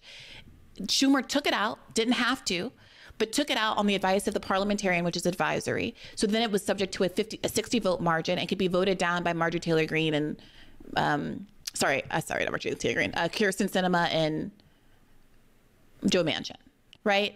Over and over again, they will never have a standalone bill on things that they know are overwhelmingly popular and they'll make them look bad. They just won't. They'll, they'll, they barfurcated the Build Back Better. They do this over and over again. So we never get these clean demonstrations of Republicans are against XYZ. Look at look at how Bernie has to run around defending that he voted down the crime, he voted for the crime bill because it had the Violence Against Women's Act in Women's it. Act that's should, yeah. That's what they do. In fact, that's what Democrats always do to provide cover for the fact that they are not actually a populist or worker-centered party in the least, and they actually want substantially the same kinds of economic policy that the Republicans want. They just wanted to be a little bit nicer to the gays and the blacks and the immigrants. Kind not, of. Not substantially the same when Republicans. I mean, I would really, I would heavily disagree with that. When you look at the amount of investment that Biden has done in infrastructure, the largest infrastructure bill in I don't know how long, 60, 50, I don't know how long it's been, or the uh, the other types of legislation that he's trying to get through and has been able to get through and get done with a 50-50 Senate, it is substantially different than what Trump would have done while he was in office. The the amounts of investments, the the where that money is going to, where the cuts are made, there are significant differences, and those significant differences do affect people's daily livelihoods and how and how well their uh, their standard of living is. And I think the more we try to say they're the same, we downplay those differences in people's daily lived experience depending upon what administration is in power, not just federally but locally as well. Because again, all politics starts local. Local politics affects your daily life usually more than federal politics, and so while while there are things where they're similar on and they agree on that they shouldn't, and I agree with that, let's not try to pretend they're the same party whatsoever. Republicans are calling for the abolition of the IRS, but I do agree that they're closer to the middle than a lot of like they're both liberal, right? They're both liberal parties. That would be the main thing that I think I would say like like ties them together. Liberal in the idea that they believe in liberal democracy broadly. Well, some of them do. I, I would I would assume in the Republican Party. Uh, when you get to the Marjorie Taylor Greenes and the Kari Lakes and you know those types, I'm I'm a little less certain. people want to acknowledge. I'm not making an argument for the efficacy of the Democratic Party here. I'm only saying that you can take a pretty clean look at what the Republicans or you know McConnell failed to table or what they've shot down in the uh, in the Senate or the House or whatever. It's pretty obvious that Republicans, just in terms of their policy prescriptions, once they get in office, are evil and want bad things. Uh, you know, that sounds like a sort of childlike simplicity, but it's actually the God's honest truth. Fake complexity is as misleading as fake simplicity. They will vote against things that are objectively good for the American people over and over and over again. It doesn't seem to affect their uh, their um, their voters' opinions of them that much. Now, I believe you can pull people over. By the way, you said you want to, you know, build a project and reaching out to people, and that the complex variety of their positions make a make a more, uh, uh, you know, unique and uh, fractured uh, voter than what might be seen just by how people vote. And I agree with that. People are very complicated. The issue I have is that there's a critical difference between uh, the situations we're talking about here. When it comes to the concerns of a voter, reaching out to them, taking their bad idea, like abolishing the IRS, and saying, "Hey, listen, I don't think it's a bad idea. But if you want to, if you want to Okay, call it well, not well- abolishing the IRS, if you want to call it reforming the IRS, can we please just stick with that? If you think that, because because it's not the same wait, thing. wait, wait, wait, wait, I, I gotta wait, I gotta, Who is this woman? This is Briahna Joy Gray. gotta finish. Go Oh, wait, abolishing the IRS would absolutely be a bad idea. We have no systems in place. I'm sorry. right now. I'm sorry. I thought Yeah, yes, I also agree with that. Abolishing the IRS is a terrible idea. Honestly, the IRS should be getting more funding, which is, I don't know if that's a hot take, but the IRS is like one of the few government institutions that if we give more money, we just rake in more money. It's like one of the just net plus like to our to our economy, to our surplus, to our to our government. Just a government program that we pour money into, we get more money out of because of the amount it could deal with tax dodgers and actually like rake in the rake in the dough. I like we want our federal institutions to work well. The IRS is understaffed, and a lot of the money that we did give to the IRS and the recent package, the majority of it was actually just for replacing retiring agents. We did hire new agents, but we needed to hire new agents. We were still talking about the FBI. I'm sorry. Oh ahead. no no sorry the the, the FBI My- my but also the, more so the IRS okay the IRS whew, yeah no it's okay but anyway you know you take a Republican who wants to abolish the IRS I think you can walk up to them I think you can go you know okay listen I got you I got you buddy okay but we got to talk about this you know spin it off in some way I think that's okay the issue I have is who you do it to on what specific issues and how you sell it MTG, I think, is a no go. I wouldn't agree with her on literally anything that she said, did, or believed that I thought benefited her agenda, because her agenda is oblivion. It's Well, you agree with her on one thing. You agree with her about being anti-force the vote. Um, I mean, we both drink water, I guess. Sure. Wait, was she? Oh, that's right. That's right. Because she, yeah, she was one of the people who was consistent about. Yeah. Um, yeah. So we got water, sky is blue, and that. And Don't uh, you? But, but here, white, wait, wait a minute. But why Well, is wait, it but that I it's like water didn't sky is blue when when it's something like that? But to me, obviously wanting to dramatically limit the powers of an arm of the police state is a no-brainer consideration. The fact that me and Marjorie Taylor Re- Greene are both in- interested in curbing government power is She's not. She's not. The cut. She She's- keep doing. No, she's you, saying- no, okay, no, uh, she, okay, she's fine, saying, let me keep rephrase, doing that. let me keep rephrase. doing that. let me rephrase that she's saying she's interested in curbing government power is an opportunity for like I don't understand why you think that our it's like you're you're talking as though MTG has the ability to write whatever legislation Democrats put forward.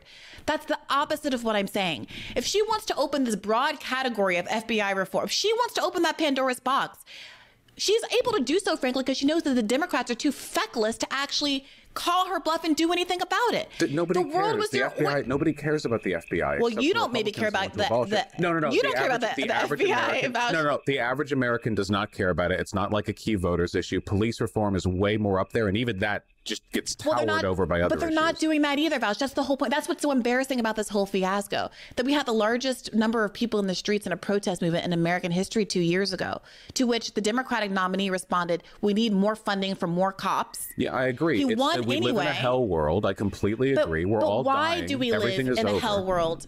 Vaush, We live why is in there a- no we live- accountability? We li- listen. I like Biden did that, and you told We- people to go vote for Biden yes, without any and I'll condition. do it again. Yes, because there are two candidates. But please, please. Oh my God. I just, this is what I've wanted the whole debate. I'm going to be honest. Most of this debate for me, it's been kind of snooze because they should be talking about whether swing states voted, whether she should have encouraged people to go vote for Biden. That's what we should be talking about right here. Yes. who can win, and one is worse than the other. But that- there are two states let me the FBI. this. There are two states the FBI can exist in right let- now. let me ask And you just- this. Wait, wait, wait, wait, wait, please. There are only two states in which it can exist right now, as represented by the interests of people currently in power. That's and not that is- true. You gotta let him finish. is- wait, can you? Who is fronting a public, uh, uh, uh, uh like, support for FBI reform? Nobody. that that's my abolition? point. Then, that's then my that's point. it. Then listen to what I'm that's Wait. the problem. She's got to stop talking and let him finish because he, he was trying to talk about the two states of the FBI can exist right now under Trump versus Biden. Bring it back to the Biden. That's what I need him to talk about right now. Please bring it to Biden.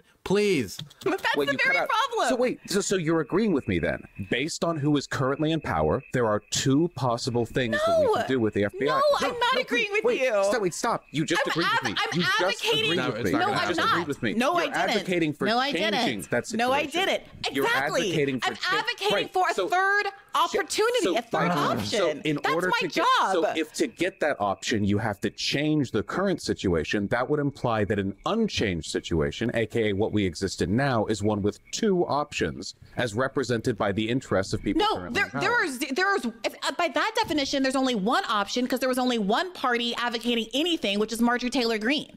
So by by your by your metric, The there's only one thing out counts as an option. Fine. So then that's it. We have So- that, and we have this. No, Vaush, this is so ridiculous. No, you can change Wait a minute, it. wait a minute, wait a get minute. three, but right now there are two. No. You agree with me? No. Right now there Okay. are two. You can fight for Vaush, three. Right. Who cares? I am fighting for three, and you're convincing people to take one of two options because you're no, no, too no, no, no, no, afraid please, please, to please. advocate for anything in the almost there. world that's We're almost real. There. We're almost there. You are tying So option. You are tying option number three to the insane bad faith fascist. No, I'm Why? No, no, no. No, I'm not. No, no, no, no. BGG. Okay, Alex. He's like looking directly into the camera. He's got his hand on the mic. He's like, come on, let me get Bring it Why? you. No, no, I'll no, no, send no, it to you wait, real wait, slow. Let me answer we your question. into Just it. two why. insti- wait, wait, please. We have two institutional options right now, okay? We have two parties, if we may.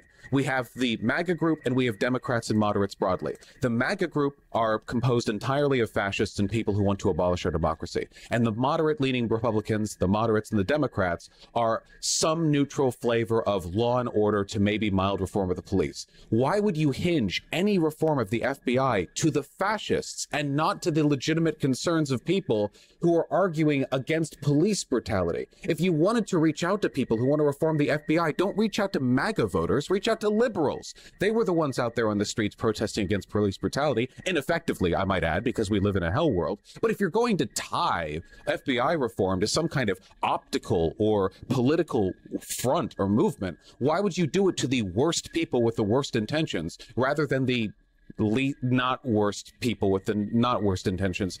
This is the issue that I have. We, our power is in our voice. Our legitimacy conveys strength to Damn, this is the strong. It took it took 53 minutes, but this is the strongest Vaush has performed so far. He's he's finally getting the point across. I think he's we finally reached reached the the tip of the mountain. broader public fronts. Marjorie Taylor Greene runs this train, not you. Where Donald Trump technically So technically you does. can She's use the words conductor. like hinge and tie and do what you want, but I think most people and understand. articles like and and to. I think that most people understand uh, that my audience has no cognitive difficulty in processing Wow. exploiting Wow. Okay, sorry. That that would be mean. No, never mind. a opportunity rhetorically in the All political audiences sphere. have cognitive difficulties. Uh, trust me, I have one. We've all My seen- audience gets it. My audience, there's nobody who didn't already Ah, have that's a bad faith. there's nobody in my audience who didn't already have a bad faith perspective of me who's gotten a lot of clicks and views out of calling me every name in the book and criticizing every word out of my mouth, frankly.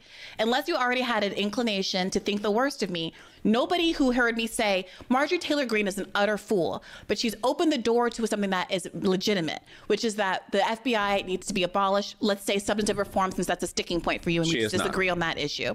This and is- that this, this is, is what like- this is Jesus like saying- Christ, dude, come on.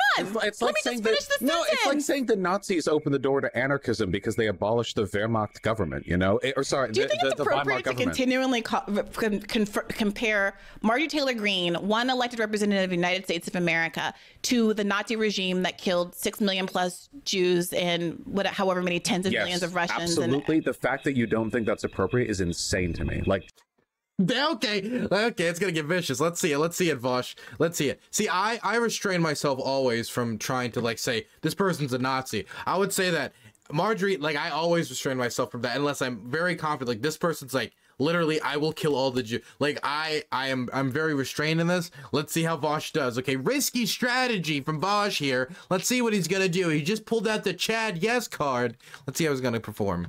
genuinely unhinged. Okay, I- I think that's pretty are fascists disrespectful to millions of dead No, okay. people and, and real Uh, life consequences. But we don't Yes, have to go down that it's- road. I think tragic, it's, look, I'm sure. No, I think you'll, it's a you'll just- rhetorical. You'll just, drop a shoe at the door and Vaush, then leave it. I- It's I, think it's rhetorically. I think it, there's a reason, reason why Godwin's law is what it is. It's it's rhetorically. I think I, I generally I try to not do Holocaust comparisons or or Nazi comparisons generally, unless it's like a very direct comparison. Which honestly, Vaush could like get in the trenches and try to go into those direct comparisons with like what Marjorie Taylor Greene has said about Jews if you wanted to, but it's probably not best to hit, uh, hinge long on this. weak to constantly have to shoehorn Nazis into every argument to make your point. I don't think that either of us needs to do that. They're fascists. It's a perfectly But, like, valid I- I- I comparison, just- especially since in this case, Marjorie wanna get to Taylor this Greene. Marjorie Taylor Greene also wants to abolish a federal institution that she's just using as a bulwark to achieve power, but other people might misinterpret. 85% of what the FBI has done is to crush people like me, people who are black, people She who are doesn't left, care. people who Listen, are coming. you're- But I know that she care. doesn't care,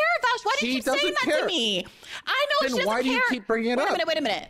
I know she doesn't Historically, care. the Weimar Republic had done so many bad things. Do you think that made it more justifiable when the Nazis said they Well, what is where does that 85% number come from? Do you guys know where that 85% number comes from?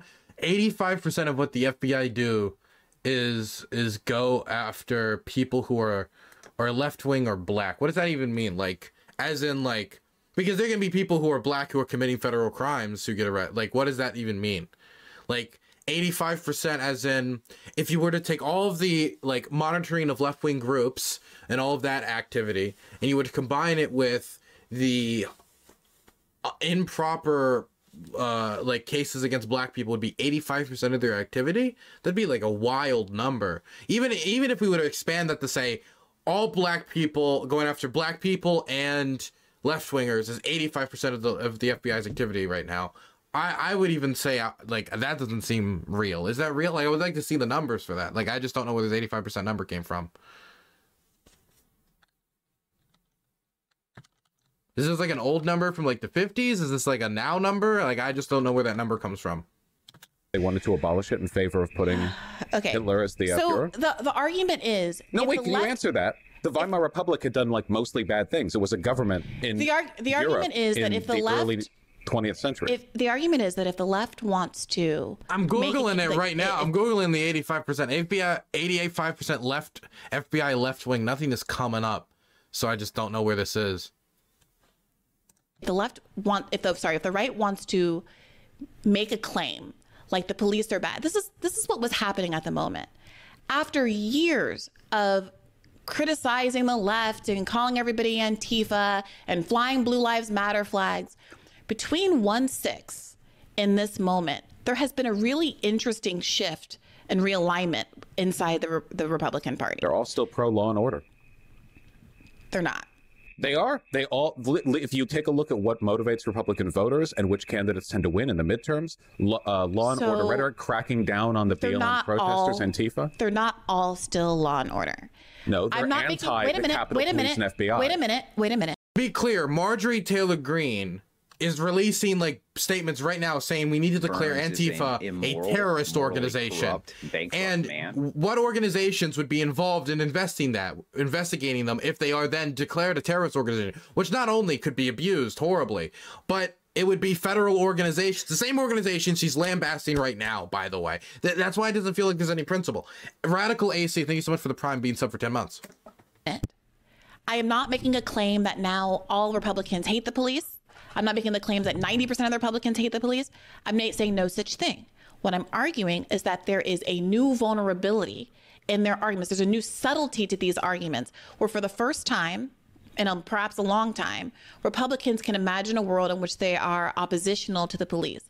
It's not just a consequence of 1 6. I don't know if you watched that Andrew Gillen. Andrew, whatever. uh, Callaghan. Callaghan, Callaghan um, documentary. There are all of these interesting moments that are burbling up. And Marjorie Taylor Greene saying this thing about the FBI was in, in some ways like a, the highest profile crack in what has been a very formidable defense or alignment, I should say, of Republicans and the police since time immemorial, it seems.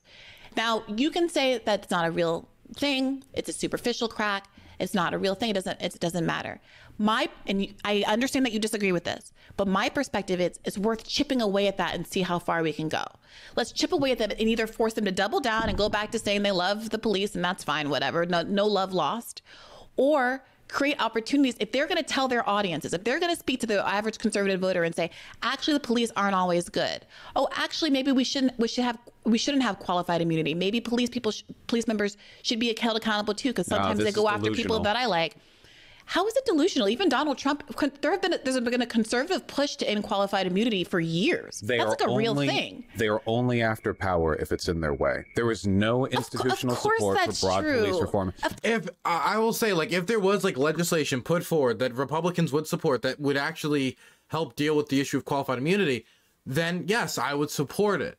But I don't see that happening, and I don't see that happening anytime soon. And the most uh, like movements you're going to see on that are from the Democratic Party. The of course current- that's true the Val, but we're the current conservative darlings are Trump, who said that we should suspend the Constitution, and DeSantis, who is currently constructing his own little Oceania down there in Florida. The current leading His own Oceania. Okay, okay, I'll give him that one. I have to give him that one. conservative constitutional That's funny. interpretation theory is one where they essentially abolish originalism and go in favor of what like a kind of paternalistic Christian nationalism.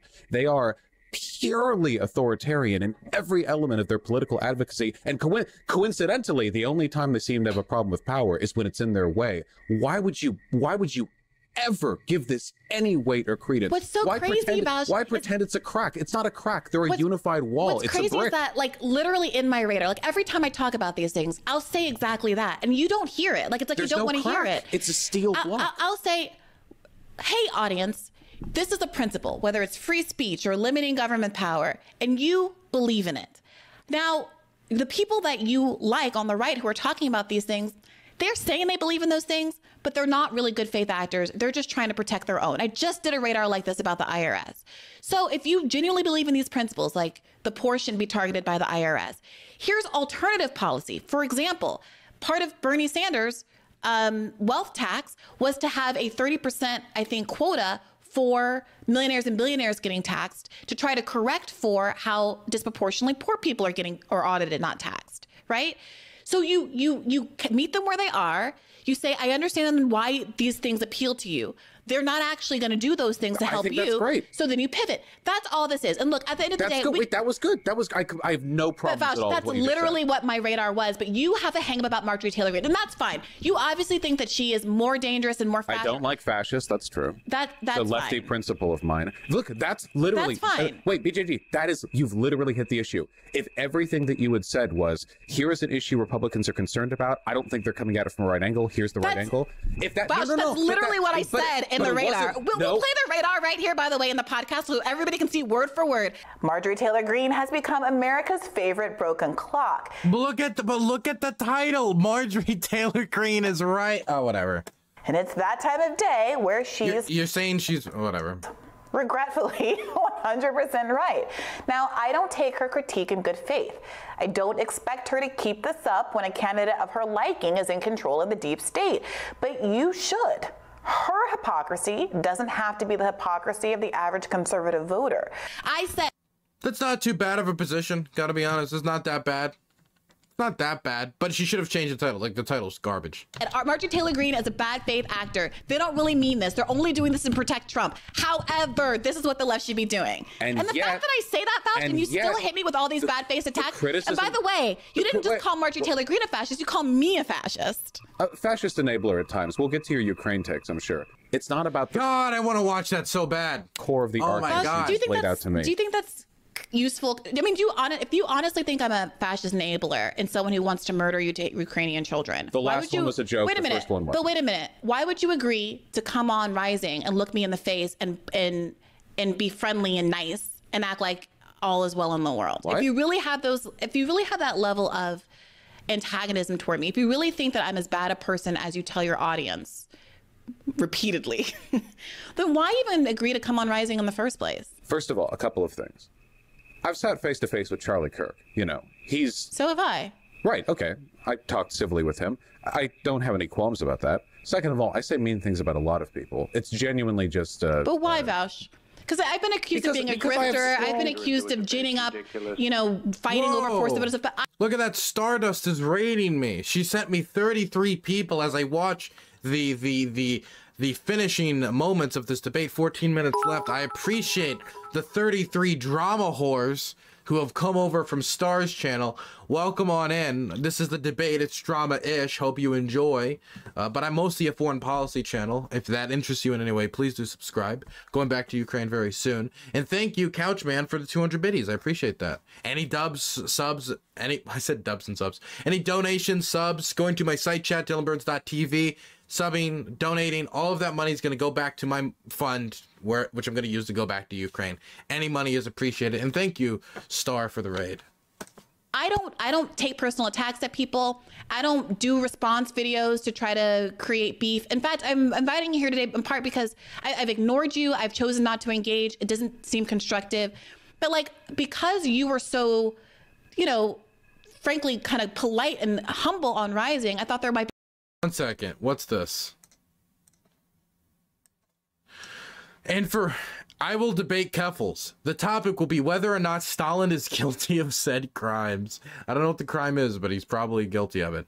Join the Discord and type show request channel and a time will be arranged. Infrared, I will not debate you unless you follow the following conditions. You unblock me. You follow back, Umfis for life, do 80 push ups, and have a fruit basket delivered to my house. Oh my god. Well, we'll see. I think he'll he'll do everything except for the fruit basket. Everything but the fruit basket.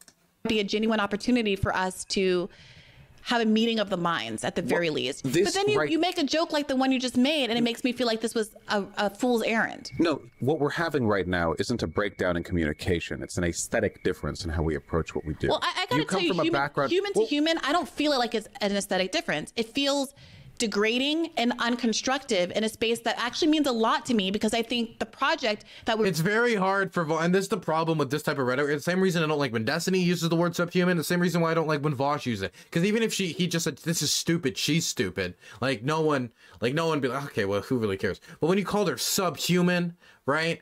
Anybody who's normal and unattached to the website to the internet is gonna hear that and they're gonna be like subhuman. Oh, that's the that's like the thing I heard like that's the like that's the stuff I hear like that's a word I hear from like racists and like bigots and like what, what why do you use the word subhuman you know Ugh. that's that's immediately the read any normal person is gonna take from that like whether or not you want to want that to be what's taken or not um and it's probably just not a good insult to use we're ostensibly both involved both involved in is an incredibly important one. This isn't like I'm not trying to be like famous on the internet from talking about pol- politics. I Well, we all only became be a a. Well, no, I was an attorney with a very good salary that didn't need any of this, to be honest. So I'm here because my passion for these issues drove me to start freelancing. I ended up getting a full-time position, and I ended up getting plucked by the Bernie campaign to be a part of this. That's that's why I'm here. And I'm not I'm not trying to grant like I'm not trying to grandstand to say that, but like I'm just going to be honest about emotionally, it feels very frustrating to feel like you're trying to do something constructive. I'm open to criticism. I'm I'm, I'm open to saying this is a different suggestion. We can go this way and that way. You don't like force the vote. Okay, Sirota had these other asks that was so constructive. We grew, we developed, we moved forward. But it seems to me that your position, that your desire is to like coin winners or losers, dub winners or losers, good people or bad people, grif- grifters and not grifters, fakes or, or legitimate folks. And that seems to be ultimately very destructive to me to this broader project that I think that we we we share. No. We definitely share it to an extent. And I don't think that, I mean, there's obviously a huge overlap in the stuff that we actually do believe. I do genuinely believe that a lot of this is an aesthetic difference. If I was feeling cynical, I would accuse you of engaging in a kind of civility politic here, right? I mean, there were plenty of like sincere, well-minded political activists back in the 1980s would have shown up in leather strap or like punk mohawks. Well, that wouldn't and bother They might have. Well, And they might have been doesn't mean. bother me. That like that doesn't They might bother have been me. mean too, right? Like either you either you really think you believe that narrative that I am indifferent to the interests of Ukrainian children or you don't. Like which is it? Don't bring it up as like a joke. Do you think that I am happy I, that I laugh at genocide and think it's ha- it's great for Ukrainian children to be killed? Is that something that you think? Then let's talk it out. But don't bring it up as a joke. I wasn't under the impression that particular bit would get to you so much. But if you want my sincere, It's not about it I getting to think me, that- Vaush. It's it's Well, it- real well, life. that- that's fine. I don't Wait, think wait, that, I'm not I, insulting. I don't Wait, wait, think I'm that sorry. Ukrainian children Wait, being dead is a joke. In fact, That, that would wait. I'm sorry. I mean, I gotta be honest. It read, it read like she wasn't taking it too seriously though, and like these weapons is what will help push the Russians out who are doing the murdering, and she had no like no urgency at all in, in sending Ukraine what is necessary to either have leverage so they can get what's necessary in negotiations, or to push the Russians out. So it it felt like you weren't taking the situation seriously enough that you wanted to do anything about it. Just seriously enough to like, I don't know. I don't think she laughed at it. I think she was laughing at the person bringing it up, but it came off wrong. It didn't come off good. Um, and it, and it's just like I think her politics on it were just bad, just like bad, just bad politically. There's a reason why she got such a negative response. She thinks it's because she's like truth telling. I think it's because everybody kind of read it, read that because it was bad. It, it came off bad. Felt like you were uninterested in doing anything about it. It, it just wasn't a good performance. I wasn't trying to be insincere there. When I said got to you, I wasn't trying to epically own you by indicating you're emotionally involved in the stuff you talk about. I am too. Um, the sincere, actual, non joking, fully straightforward position that I have on that debate that you had was that I only saw the damn clip.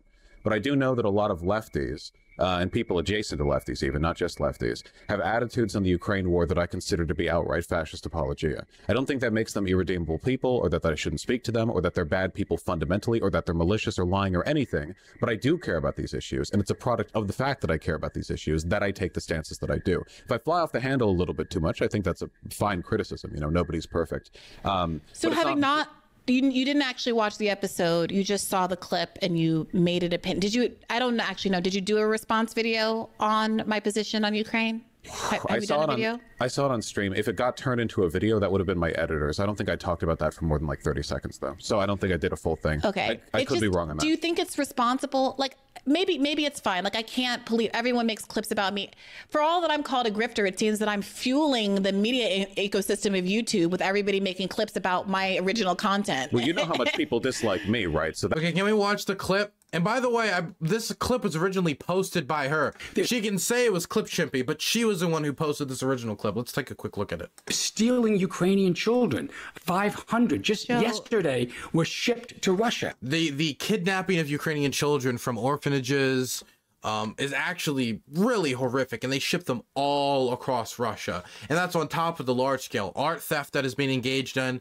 Over 15,000 artistic uh, or like historical pieces were taken, including like old Scythian gold and culturally significant Ukrainian oil paintings. Like, they, they, we're seeing some like really disgusting behavior that has very that has basically zero strategic benefit and is being done because of their view of Ukrainians their their their negative view of Ukrainians that Dmitry Medvedev, the former president of Russia and somebody who's been with Putin since the campaign trail, um, and back in the early 2000s, uh, well, you know, as the 2000s were coming up, um, he called Ukrainians a disease of the mind.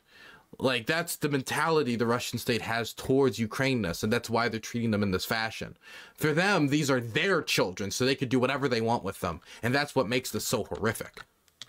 And you and this is why we should be supporting them. We cannot allow this kind of evil to go unchecked, just on a basic moral reason. I mean, don't you agree? That that is the moment where people took very very poorly to that. Most Ukrainians took very poorly to this because it was them hearing some horrific stuff being described, something they're going through on a on a daily basis, and like you're like, like there are multiple children being stolen like a day. Like that's horrific. If if I described that Native Americans being kidnapped and disappearing and stuff like that, and the response I got was like, it's just it, people aren't gonna read that well. And so there's a reason why she got such a negative response. And she can't be like, people clip me out of context because this is like the clip that went viral R- right here. She she clipped it. Agree with that? I, I'm sorry, I don't. And here's okay, why. Why? There are gangs that have overtaken Haiti. There is a cholera pandemic that was started by the UN. UN members raped Haitians. A third of Pakistan was underwater.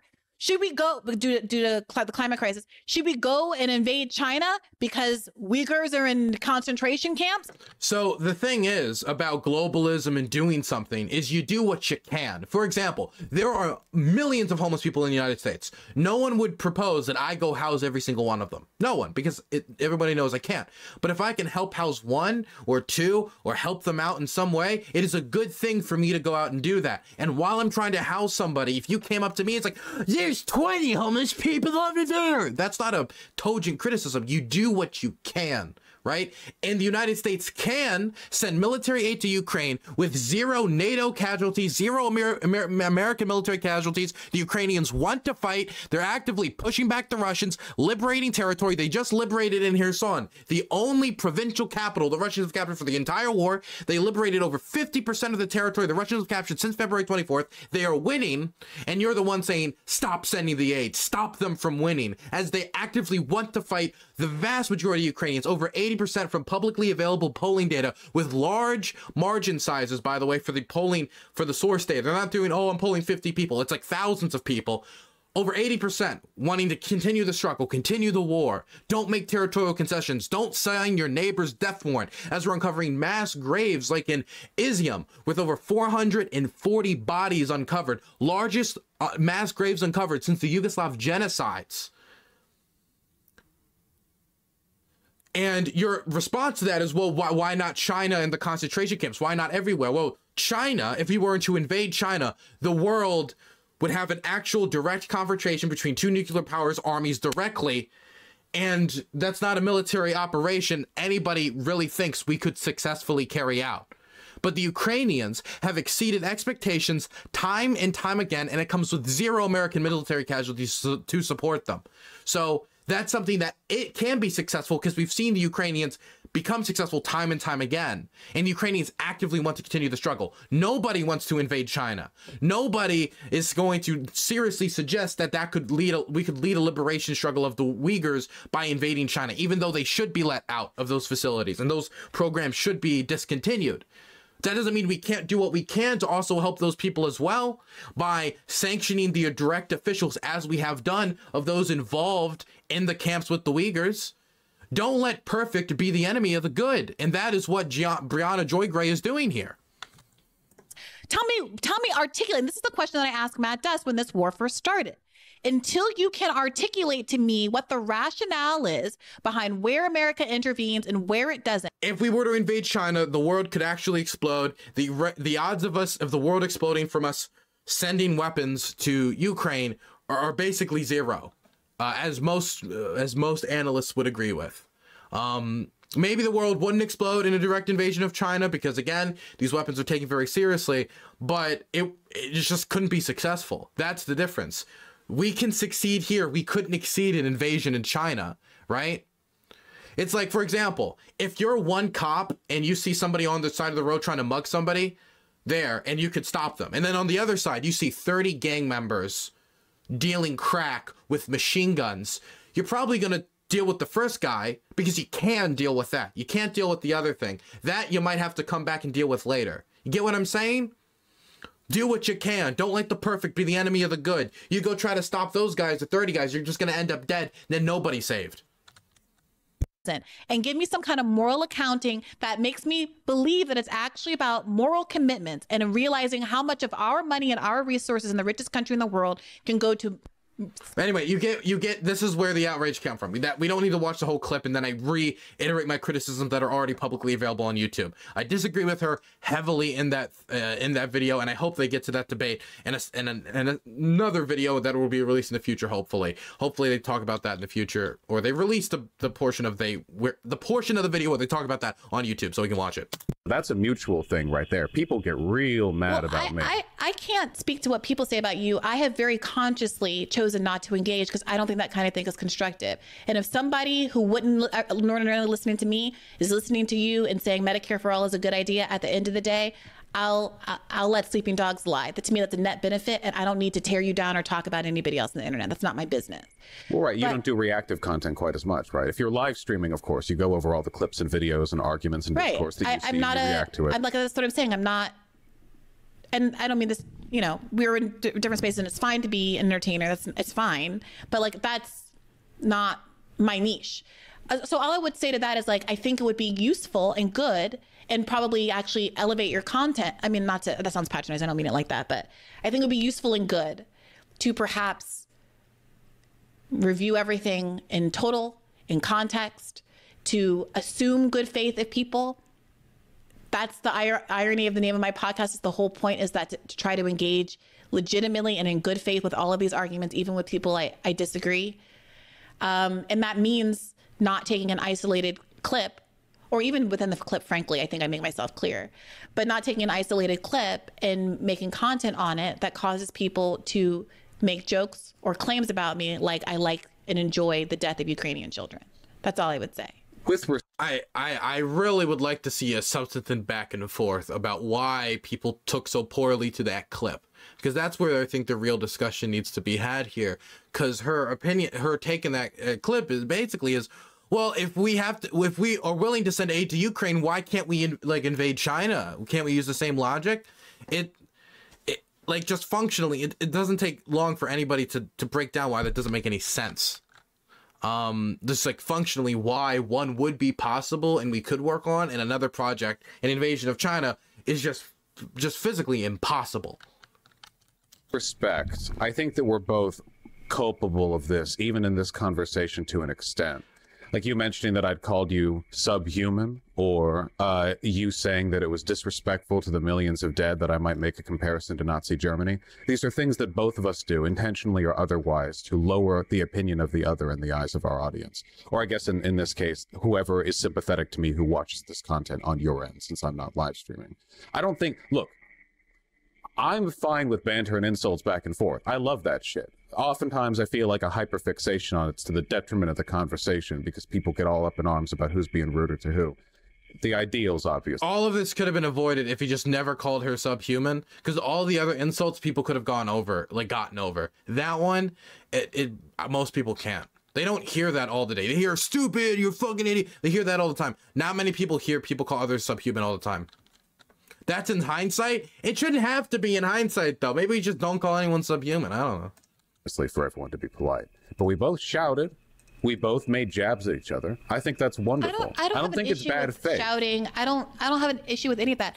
I think that look, at worst, I could be accused of Vaush not um, not understanding the existential harm that Marjorie Taylor Greene and, and her politics present to the United States. At worst, you could say that I, you know, underestimate the potential harm that could come of me uh, saying that Marjorie Taylor Greene was, is right about this one narrow issue.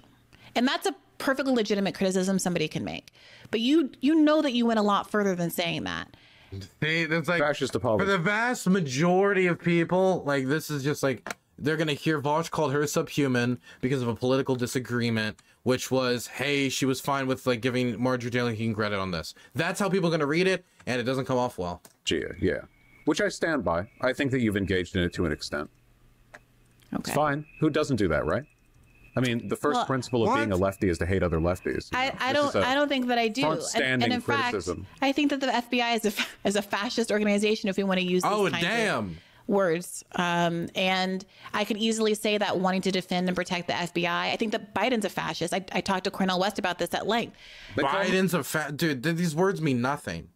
I mean, I don't even know who Vaush was talking. She was enabling. I guess MTG. But if we got into the what point where like Joe Biden's a fascist, right? Well, then like we're we're using the same word to describe like a neo-Nazi or like Bashar al-Assad, like a dictator, and like milk toast liberal Joe Biden.